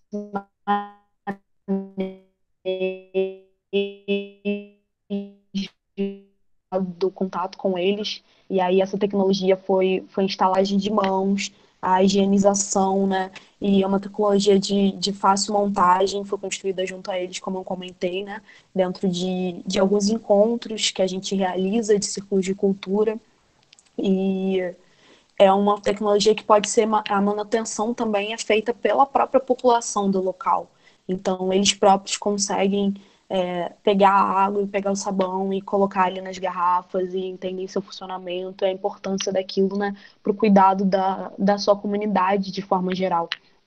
É, uma das coisas que a gente se deparou também, se depara muito forte, foi, foi a violência contra a mulher no território. Então, a gente realizou, realiza círculos de cultura, né, pensando algumas temáticas, e aí busca parcerias também dentro do município com as secretarias para a gente poder estar tá trazendo esse debate, esses diálogos dentro da comunidade. Então, são espaços muito potentes, de muito, muito, como eu posso dizer, é, fortalecimento mesmo, tanto nosso e tanto da população. E aí é um, uma questão, a educação popular é, traz muito isso da importância da organicidade para gente. Então, para a gente está muito importante estar orgânico ao território. E aí a gente ser reconhecido como parte daquele local também faz toda a diferença para a gente trabalhar essa valorização da sua cultura local, do, do, dos seus, das suas práticas, né, o resgate das suas práticas alimentares também. E aí, pensando um pouco nessa ideia, nesse modelo biomédico que a gente tem tão presente nas nossas formações, e que é um modelo que a gente está lutando contra, né? A gente realiza também alguns círculos de cultura junto à unidade. E aí, nossos grandes parceiros são os agentes comunitários de saúde, né? Que eles têm um papel de agente popular em saúde fortíssimo.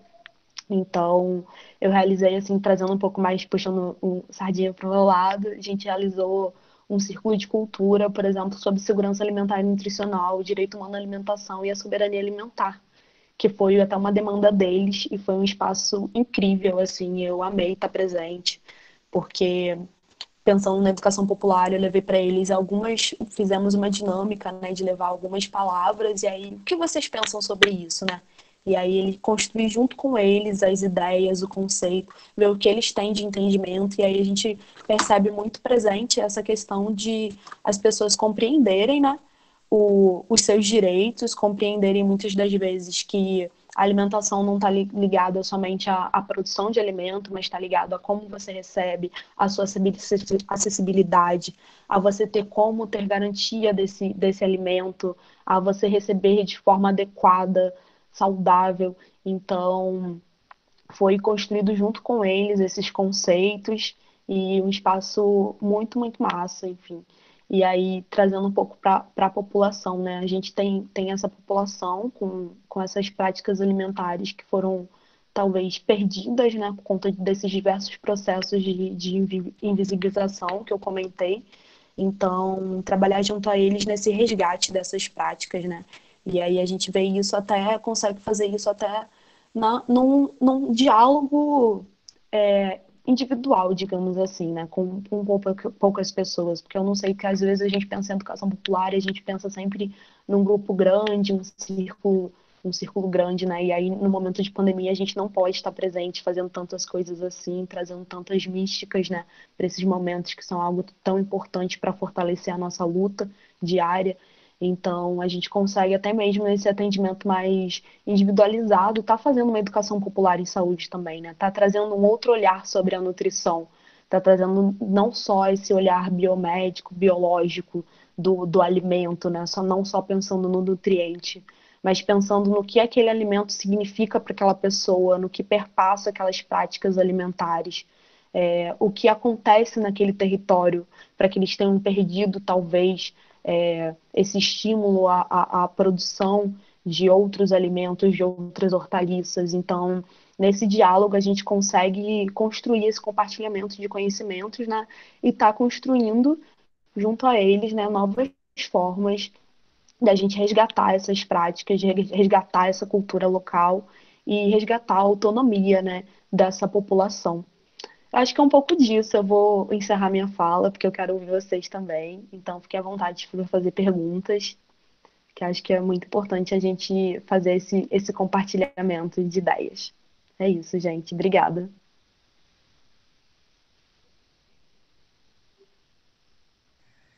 Muito obrigada, Luana. Muito bom te ouvir. Muito animador também, muito inspirador. É, a gente está profundamente emocionado aqui em casa, né? A gente tem um pequeno QG do Fórum Popular da Natureza e a gente está realmente muito tocadas pela sua fala e acho que muito inspiradas, principalmente por esse encontro. É, a Jaqueline contou para a gente no chat que o Carlos Renota aqui com a gente no encontro, então gostaria de chamá-lo para dar uma palavrinha com a gente também. Fique à vontade, para a gente é um prazer, uma honra imensa e inesperada ter você aqui com a gente hoje nesse encontro. Fique à vontade.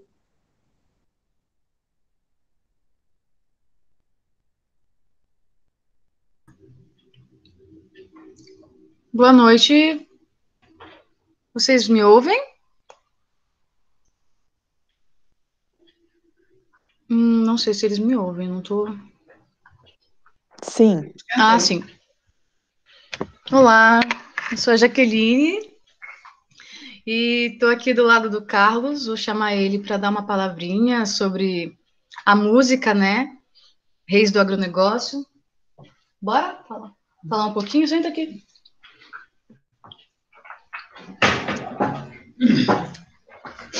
Olá, como vão? Estou gostando muito, viu? Dessa conversa de vocês, desse papo, desses discursos com os quais eu me identifico muito. Sou de uma geração bem anterior, né? É, o que rola hoje no plano socioambiental é, são coisas que, de certa forma, é, prevíamos né? já nos anos 70 há 40 anos atrás, há 40 e poucos anos atrás, tá? E essa preocupação, tanto com a natureza, quanto com o alimento natural, né? e com os processos de tratamento e cura né? é, efetuados de acordo com a estrutura da natureza, são coisas que é, preocupavam a mim e a amigos, né? É, desde então, né? E, e isso de certa forma se refletiu no meu trabalho desde o começo, né? E, sobretudo, nos primeiros tempos do, da, da, minha trajetória de compositor letrista, né, porque eu sou letrista apenas. Mas é, retomou com muita força nos últimos 20 anos, 20 e pouquinhos anos, é, desde que o IPCC, o Intergovernmental Panel of Climate Change, né, o, o painel intergovernamental de mudanças climáticas, começou a divulgar seus alertas para o mundo né, do que estava por vir, né, por causa da destruição da natureza, é, por causa do uso de combustíveis fósseis, né, ou seja, da, do aquecimento global e do que isso representaria é, socioambientalmente falando. Né? Lamentavelmente, e a gente vem vendo é, os riscos disso aumentarem desde então, né, se intensificarem, e é, se por um lado é, toda a raça humana né, é, corre riscos, né, pode estar se aniquilando, é fato também que o, o processo de vitimização é, não é igual, é desigual. Né? E quem sofre mais, infelizmente, são os mais pobres, e no país como o nosso, são os mais pobres, o que equivale a dizer a maioria de pessoas negras né? e periféricas. Então, esse assunto é, me interessa muitíssimo e acaba se refletindo no meu trabalho, como se refletiu né, na canção é, Reis do Agronegócio, em outras canções também, né? mas já que é, essa canção foi referida, nessa canção minha e do Chico César, eu cito ela aqui, né? que foi dedicada a essa classe, né? é, essa classe de gente que só pensa nos seus, que pensa sobretudo nos seus lucros, né? nos lucros imediatos, nos lucros dos próximos cinco anos, né? sem pensar nos efeitos deletérios, nocivos, destrutivistas né? é, do, dos seus negócios para não só o, o, ser humano, mas os seres vivos, né, em geral, o que vale dizer outros animais e plantas e vegetais e montanhas e rios e pedras, porque tudo isso é, faz parte desse organismo vivo que é a Terra e que esse organismo vivo que é a Terra e que merece, né, é, pela maravilha que é esse planeta, o nosso cuidado e o nosso amor. É isso? É. Legal. Tem uma pergunta. Oi? Não, não. Uma pergunta aqui, mas é para. Hum.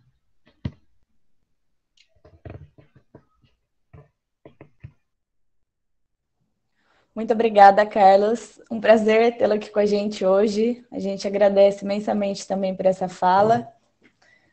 E agora, para a gente dar continuidade ao nosso encontro, chegamos naquele momento de diálogo. Então, as inscrições já estão abertas no chat, tanto para falas quanto para perguntas que podem ser escritas, e aí a gente lê ou podem ser faladas também. De início, já temos a inscrição do Celton, então, Celton, é, as meninas vão controlar o tempo. A gente sugere falas de até três minutos, pode ficar à vontade.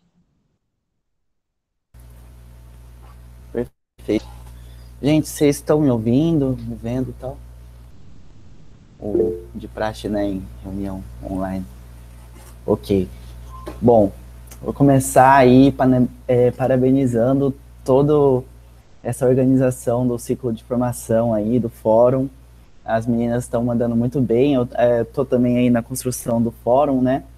Eu construo também o MUP, né, o Movimento pela Universidade Popular.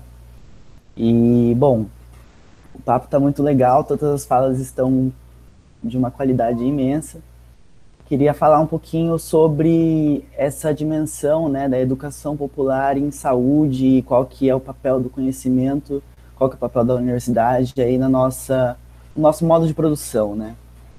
o Henrique colocou muito bem é, como, às vezes, a pessoa que está ali, primeiro, né, chegando perto da educação ou não conhece ainda direito à educação popular, pode ter, enfim, isso em várias áreas da academia, principalmente fora das áreas da educação, é, pode ter essa noção de que a pessoa vai ali levar um conhecimento.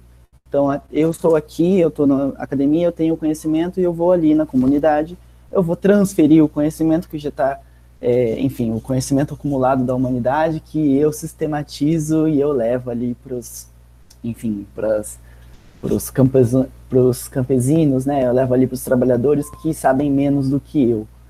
E isso é uma noção que Paulo Freire destrói assim nos livros dele, né? Em especial a pedagogia do oprimido coloca muito bem que essa contradição, né? Essa contradição entre o sujeito né, o, digamos, o sujeito educador e o educando, ela, ela é superada, né? E essa superação é a própria libertação, é a libertação do sujeito é, em si. Então, nesse contexto de educação popular, a gente não está ali como educador popular para ensinar, né, transmitir o conhecimento.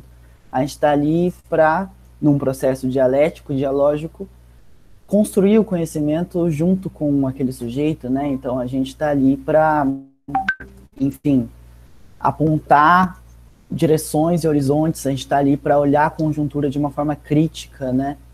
É, enfim. E isso se coloca também na saúde. Isso que é interessante, porque Paulo Freire, ele coloca isso, inclusive, que da mesma forma que existe a, a figura tirânica, assim, do professor, né, do mestre, também existe a figura tirânica do médico, né, do doutor.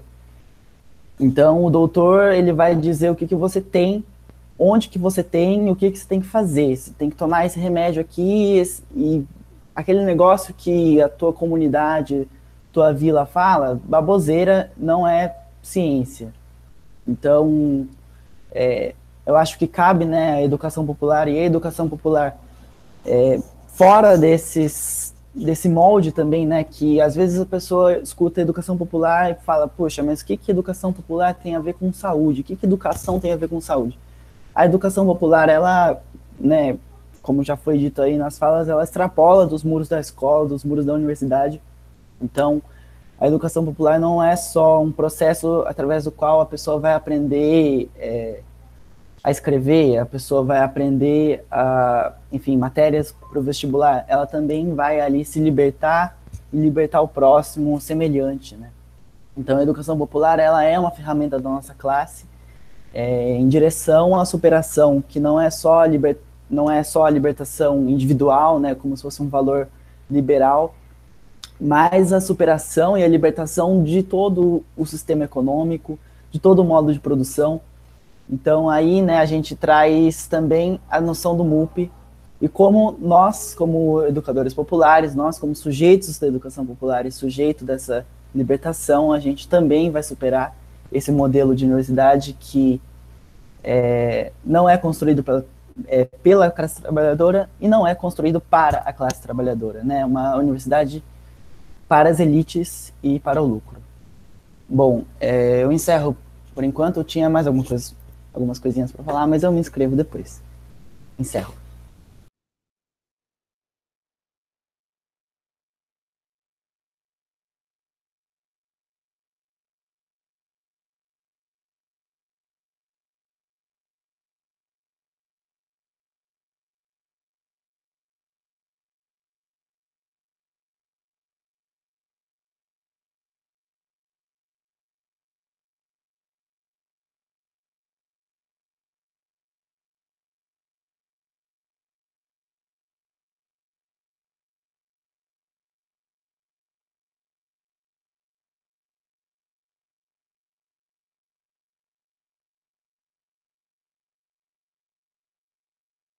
Pessoal, perdão, minha internet caiu, mas já estamos aqui de volta.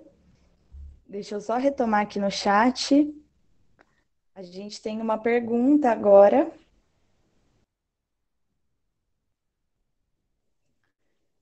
A gente tem uma pergunta para o Henrique. A pergunta da Natália é: como foi o contato inicial com o MST? Como se deu essa ponte? Se o Henrique puder, é... a gente ficaríamos claro, muito felizes. É, a, como se deu o contato? É, os, tinha um educador popular muito famoso disse que a gente só conhece os lugares por onde nossos pés andaram. E, e, e aí o, o, o, a gente conheceu o assentamento exatamente se propondo a construir com eles, a conhecê-los, e, e, a princípio a gente foi é, com essa proposta de que a gente gostaria de fortalecer uma extensão em saúde e que a gente gostaria de conhecer a comunidade. Então a gente começou, é, eu falo que a extensão, quando ela é popular, a gente tem que saber que ela é, não vai ser rápida, então é, o projeto Severinos ele tem hoje vai fazer cinco anos e ele é um bebê. Então o Severinos ele começou agora a se estruturar enquanto projeto com é, com a parte jurídica e tudo mais. A gente, durante é, dois anos, foi um grupo de cinco pessoas. E hoje nós temos a, em torno de 60. Então, é, a extensão popular ela se dá pela insistência e pela, pela construção coletiva. Então, a gente foi, durante dois anos, a gente ia ao assentamento com propostas de vamos discutir primeiros socorros, ou hoje vamos conhecer uma nova região do assentamento e lá a gente aferia pressão, a gente conversava com eles. E aí é isso que eu gostaria de trazer. Quando a gente fala de educação popular em saúde, e a Luana trouxe isso muito bem, é, a gente está falando de uma carência de educação gigantesca. É, não se sabe exatamente sobre outras profissões, não se sabe o que é pressão. É, se a pressão é alta, se você fala hipertensão, muitas pessoas não sabem. É, então a educação ela começou a se dar assim, no tete a tete, a gente ia até o horário do almoço, aí a gente começou a estender, porque a gente percebeu que o almoço era muito importante, porque era, porque era o momento que a gente conseguia conversar e, e cozinhar com eles e lavar a louça junto. Então hoje o projeto Severinos ele acontece é, nos últimos finais de semana do mês, a gente vai das sete da manhã, a gente sai aqui de Marília, a gente chega lá umas oito e a gente faz o café comunitário e aí sempre tem atividades. A ideia, na verdade, é que a gente não se limite para a saúde é, médico-cêntrica ou a saúde curativa. Então, inclusive, agora a gente está proporcionando encontros para debater as plantas medicinais em relação a também ter autonomia, né, soberania em relação aos é, próprios medicamentos. Então, o debate, ele, a extensão popular, ela vai se remodelando. Então, não existe muito segredo. É, o que eu coloco é que para conhecer uma população é necessário estar com ela e viver com ela. Então, hoje, é, os assentados, eles não são apenas é, trabalhadores que eu faço um trabalho. Não, eles fazem parte da minha família. Então eles me mandam mensagem. Hoje já mandaram duas queridíssimas, me ligaram. Então é uma, uma outra relação. É uma relação que a gente deixa. É, a gente tem uma frase no Severinos para concluir que é que possamos tirar nossos jalecos, sujar nossas botas e assim fazer a diferença. Então, a gente não defende a ideia de que a gente vai conseguir mudar a vida de alguém no consultório. A gente vai mudar de fato a vida de alguém quando a gente permitir que ela tenha direito a, aos direitos que deveriam ser de todo cidadão. Então, é estando ao lado deles na luta. E aí, para isso, não há pressa, não existe final de uma extensão. Ah, a gente vai estruturar e ela vai acabar em dezembro. Na verdade, não. A gente vai. A ideia é sempre se reformulando. Tá bom?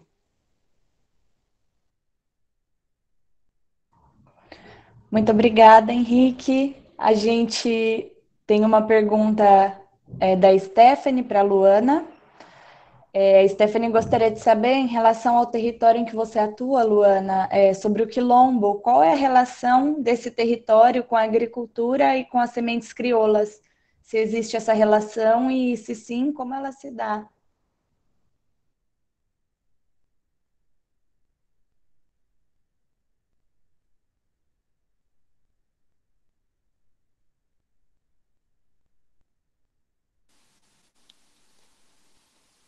Ah, então. É, a relação com a agricultura é fortíssima na comunidade, né? É, acho que poderia dizer até que 100% das pessoas que estão lá são agricultoras, né? Inclusive começam esse manejo com a terra desde muito cedo.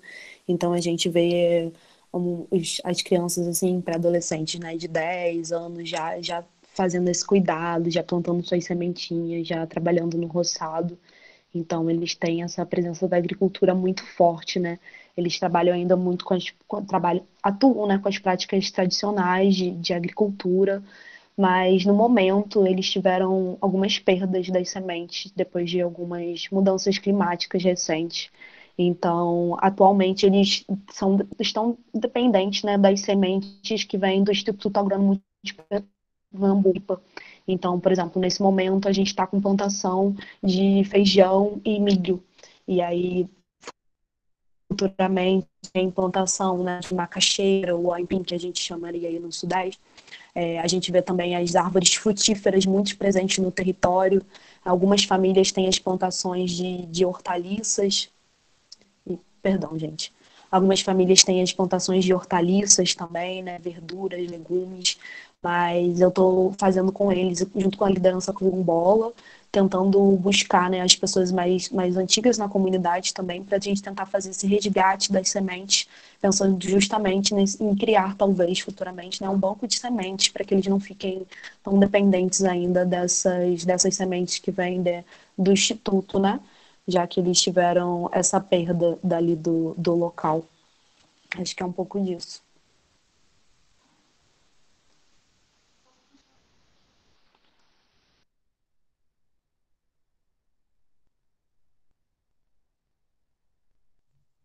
Muito obrigada, Luana. Opa. É, o Matheus fez uma pergunta aqui direcionado para o Weber, mas eu acabei de ver que ele não está aqui na sala mais com a gente. Então, eu me responsabilizo por encaminhar. Ah, tá sim. Disfarça que você não estava com seu nome, eu me perdi aqui na hora de achar. Então, tá bom. A pergunta seria em relação a como como a questão da alimentação surge dentro desse projeto da dramaturgia rural. Então, se você puder contar um pouquinho para a gente, ficaremos muito felizes. O... A gente aqui no, no, nosso espaço, que é o território híbrido de educação integrada à arte, nesse espaço a gente tem uma cantina. E a cantina a gente procura sempre estar fazendo é, alimentos que as pessoas não estão acostumadas a consumir. Então, o, o alimento entra também como uma, um experimento de novas formas de consumo. Tem o armazém, que a gente procura colocar a, a, o que é produzido pelo pequeno produtor. Né? Essa é a maneira como a, a, questão da alimentação entra. Ela entra muito ligada à economia solidária e, a, o que, e os contatos que a gente acabou tendo com o Movimento Sem Terra. O Movimento Sem Terra, eu acho que influencia muito quando a gente vai nos encontros, a gente percebe como eles organizam o alimento e como que o, o alimento está tá inserido na proposta das atividades deles, eu acho que é um pouco disso a gente traz para o projeto, né? Igual a mística, como a, a, gente, a gente tem o costume também de, de realizar algumas místicas, algum, né, uma celebração, a gente tem um samba de bumbo que a gente sai.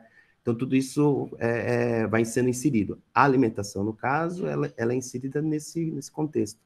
Nas ações que a gente desenvolve com o Movimento Sem Terra, nessa troca né, de conhecimento, então você acaba descobrindo a importância da, da soberania alimentar, e quando a gente chega no espaço e a gente está propondo novas formas de consumo, a gente leva é, é, em consideração que novas formas de consumo também é, é, saber de onde vem o alimento, que tipo de alimento está sendo, né, e quem produz esse alimento, essas questões entram dentro da, do nosso debate sobre consumo, né?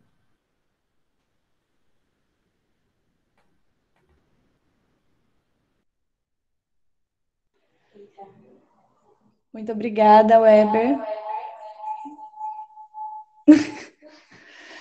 É, a Natália trouxe uma pergunta para a Luana. Ela disse: Luana, você falou sobre as punks. Quais ações poderiam ser pensadas para uma promoção e incentivo ao seu consumo? E como a universidade poderia estar atuando é, nesse mesmo sentido?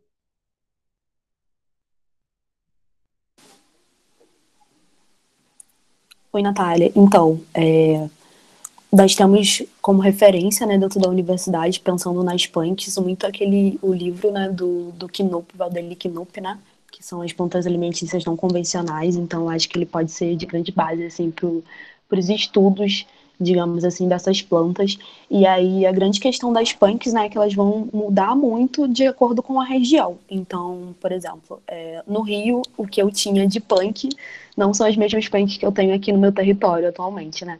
Então, acho que pode ser pensado muito esse resgate junto mesmo à população, se tiver, se você for possível ter esse contato, né? E porque são alimentos que muitas das vezes eles comiam quando eram crianças ou comeram em outras fases da vida, ou viam os pais preparando e talvez tenham perdido essa prática. Então, fazer esse resgate junto a eles de pensar o que, que tem aqui no território, quais são esses matos aqui que a gente pode estar tá, tá identificando e estar tá pensando como produzir. E aí, uma grande coisa que dá para pensar na promoção e incentivar esse consumo é justamente associar isso às práticas culinárias. É, eu tive o prazer de fazer uma disciplina eletiva na graduação, que foi com as plantas alimentícias não convencionais. Então, lá na região, a gente fez isso. A gente acabou desenvolvendo um livrinho de receitas com algumas punks. Eu posso estar passando para a Júlia depois ela passar para vocês até. E aí foi uma forma que a gente viu de incentivar muito esse consumo. Porque às vezes você tem aquele alimento ali, tem aquele mato ali, né, na realidade, que você não identifica como um alimento, e aí a partir do momento que você olha para ele, identifica as suas partes e identifica como você pode preparar, você muda totalmente a relação que você tem com ele.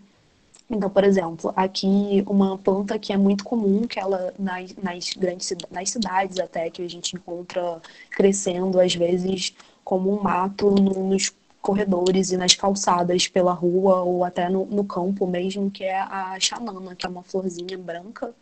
É, e ela tem, é riquíssima em zinco, por exemplo, o chá dela, você pode tomar a planta, a, a flor é comestível, você pode preparar uma geleia, você pode fazer outras preparações. Então, você entender como você utilizar as partes dessas plantas e como você pode cozinhá-las né, e trazer para sua alimentação é uma forma de fazer um resgate dessa diversidade, fazer uma promoção em saúde e também colocar mais nutrientes na mesa dessas pessoas, né? Então, acho, espero que eu tenha conseguido responder a sua pergunta.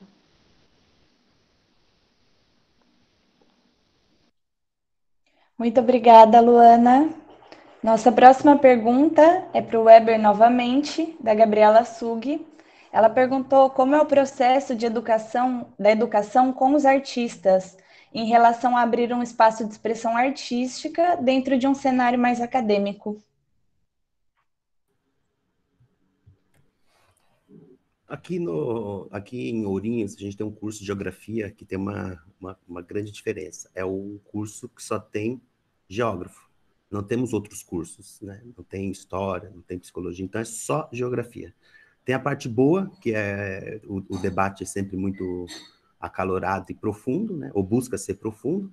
E tem a parte ruim que a gente acaba não tendo intercâmbio de, com, com outros cursos ou, ou né? E como uh, esses estudantes acabam vindo para cidade, para Ourinhos e, e, e, no final tem pouca relação com a cidade, porque isso é uma coisa comum também das, dos universitários, que é se manter no, no ambiente apenas de república, nos ambientes de, de, de, de discussão da universidade, esse pessoal acabou que encontrando no grupo de teatro a possibilidade de fazer algo diferente daquilo que estava sendo feito na sala de aula, né, da geografia e que era fazer teatro. E aí vieram fazer teatro, vieram fazer o teatro do oprimido.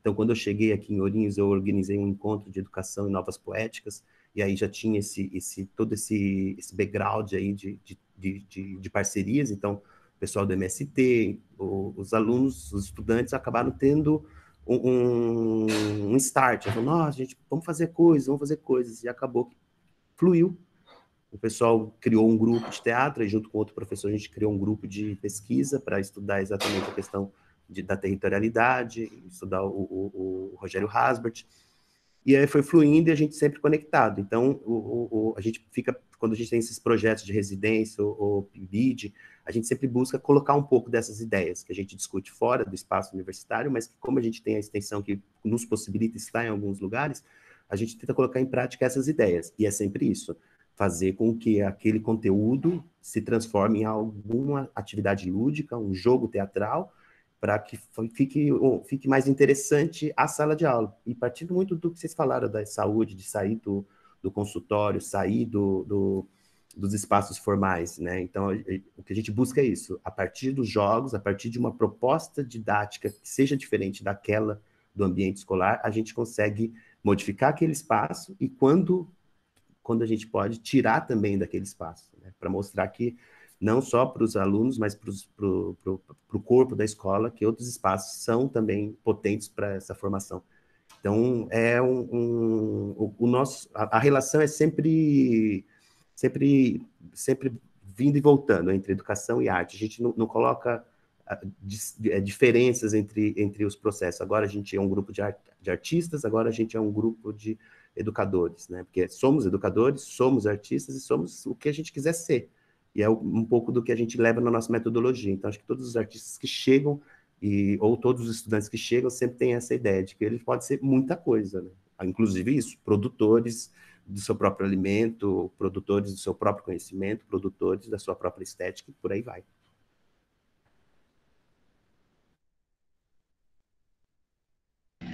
Muito obrigada, Weber.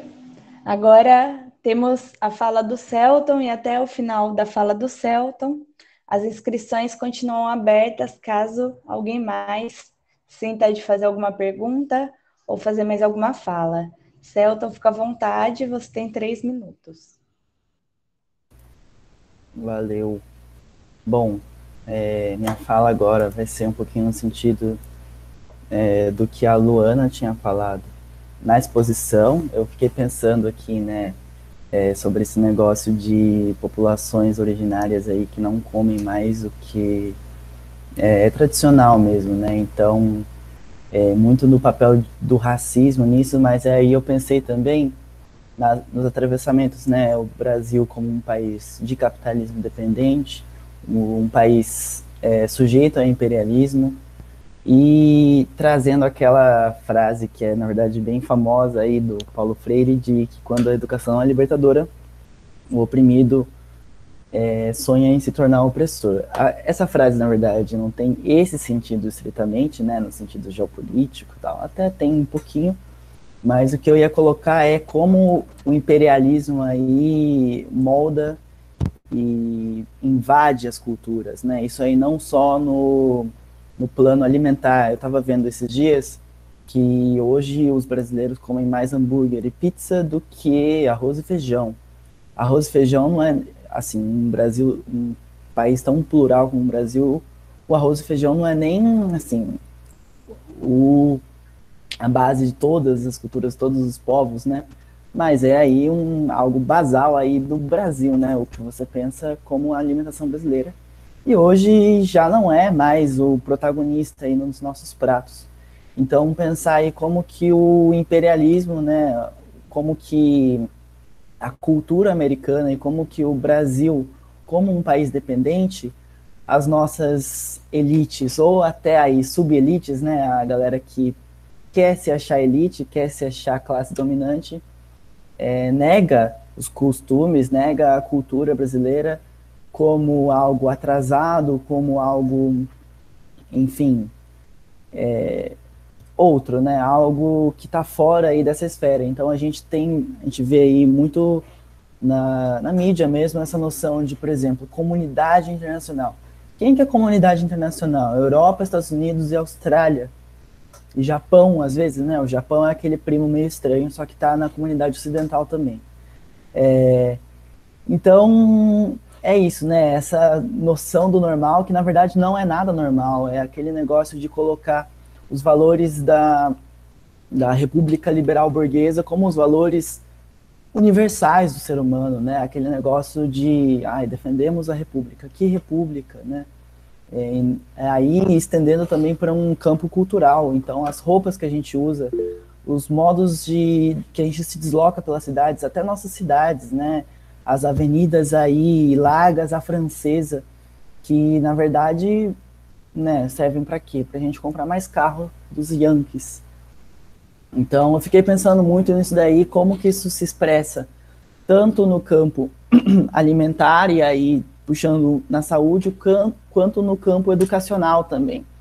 Então a gente na educação, a gente uma coisa que eu odeio, assim, odeio muito é o vestibular, por exemplo. Você vê que o que a gente é cobrado, né, de, de conhecimentos, digamos, essenciais, são os conhecimentos brancos e europeus, né? Então a gente tem que saber mais do, de história europeia do que da nossa própria história. A gente não sabe, por exemplo, o território, o que, que aconteceu aqui, como que era, como que se deu a invasão europeia, né? Aliás, a nossa história, a história do Brasil, começa aí, na invasão europeia. Então, bom, vou encerrar aqui, já está encerrando aí o encontro, que a Stephanie já está falando para mim.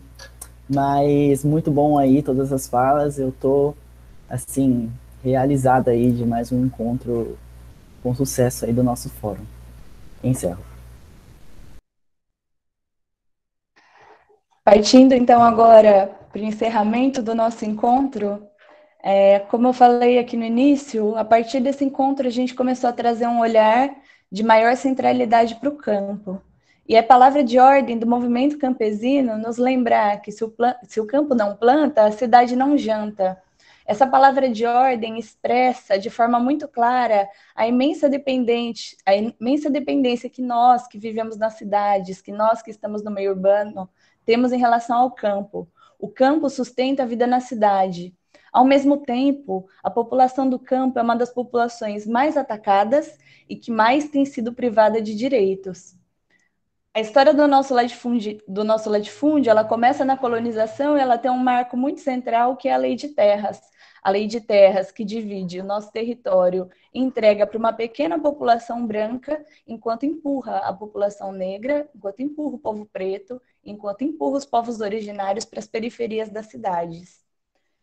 Uma coisa que é muito importante da gente lembrar e que demonstra a urgência dessa questão é olhar para a idade do pessoal ocupado na população do campo.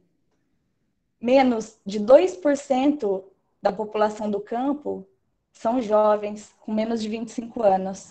O que isso significa que a população do campo, além de ser uma população vulnerável, é uma população idosa. E o êxodo rural vem fazendo com que cada vez mais a gente tenha gente plantando. Os ataques do capitalismo fazem com que, com que seja cada vez mais difícil produzir comida. E mesmo aqueles que vivem no campo e trabalham na terra, muitas vezes estão sujeitos a trabalharem de forma explorada para as grandes empresas e para os oligopólios. Para encerrar o nosso encontro, eu trago um poema do Pedro Tierra, que se chama Fala da Terra. A, a liberdade da terra não é assunto de lavradores. A liberdade da terra é assunto de todos quantos se alimentam dos frutos da terra, do que vive e sobrevive de salário, do que não tem casa, do que só tem o viaduto, dos que disputam com os ratos os restos das grandes cidades, do que é impedido de ir à escola, das meninas e meninos de rua, das prostitutas, dos ameaçados pelo cólera, dos que amargam o desemprego, dos que recusam a morte do sonho. A liberdade da terra e a paz no campo têm nome, reforma agrária. Hoje viemos cantar no coração da cidade, para que ela ouça nossas canções e cante, e reacenda nessa noite a estrela de cada um, e ensine aos organizadores da morte, e ensine aos assalariados da morte que um povo não se mata como não se mata o mar. Sonho não se mata como não se mata o mar. A alegria não se mata como não se mata o mar. A esperança não se mata como não se mata o mar e sua dança. E é assim que a gente encerra o nosso encontro e convidamos a todos para que estejam presentes no nosso próximo encontro, que será na quinta-feira, dia 27, com o tema Natureza, Raça e Classe, em que receberemos o Eras Felício da Teia dos Povos e o mestre Joelson, que vem lutando contra o latifúndio através do movimento dos trabalhadores sem terra há mais de três décadas e que é um mestre dos saberes que vão vir aqui para conversar com a gente e mostrar que falar sobre meio ambiente é falar sobre a liberdade do povo preto e é falar sobre a liberdade dos povos originários. Então, estão todos convidados, estejam aqui com a gente para a gente continuar construindo essa teia, essa rede. E só para finalizar, não esqueçam da lista de presença, que é muito importante para a construção da memória do nosso encontro. Agradecemos a todos que estiveram aqui hoje, aos nossos convidados, a todos e todas que constroem o Fórum Popular da Natureza e a todos que estão participando desse ciclo formativo. Uma boa noite. Nath, pode encerrar a gravação.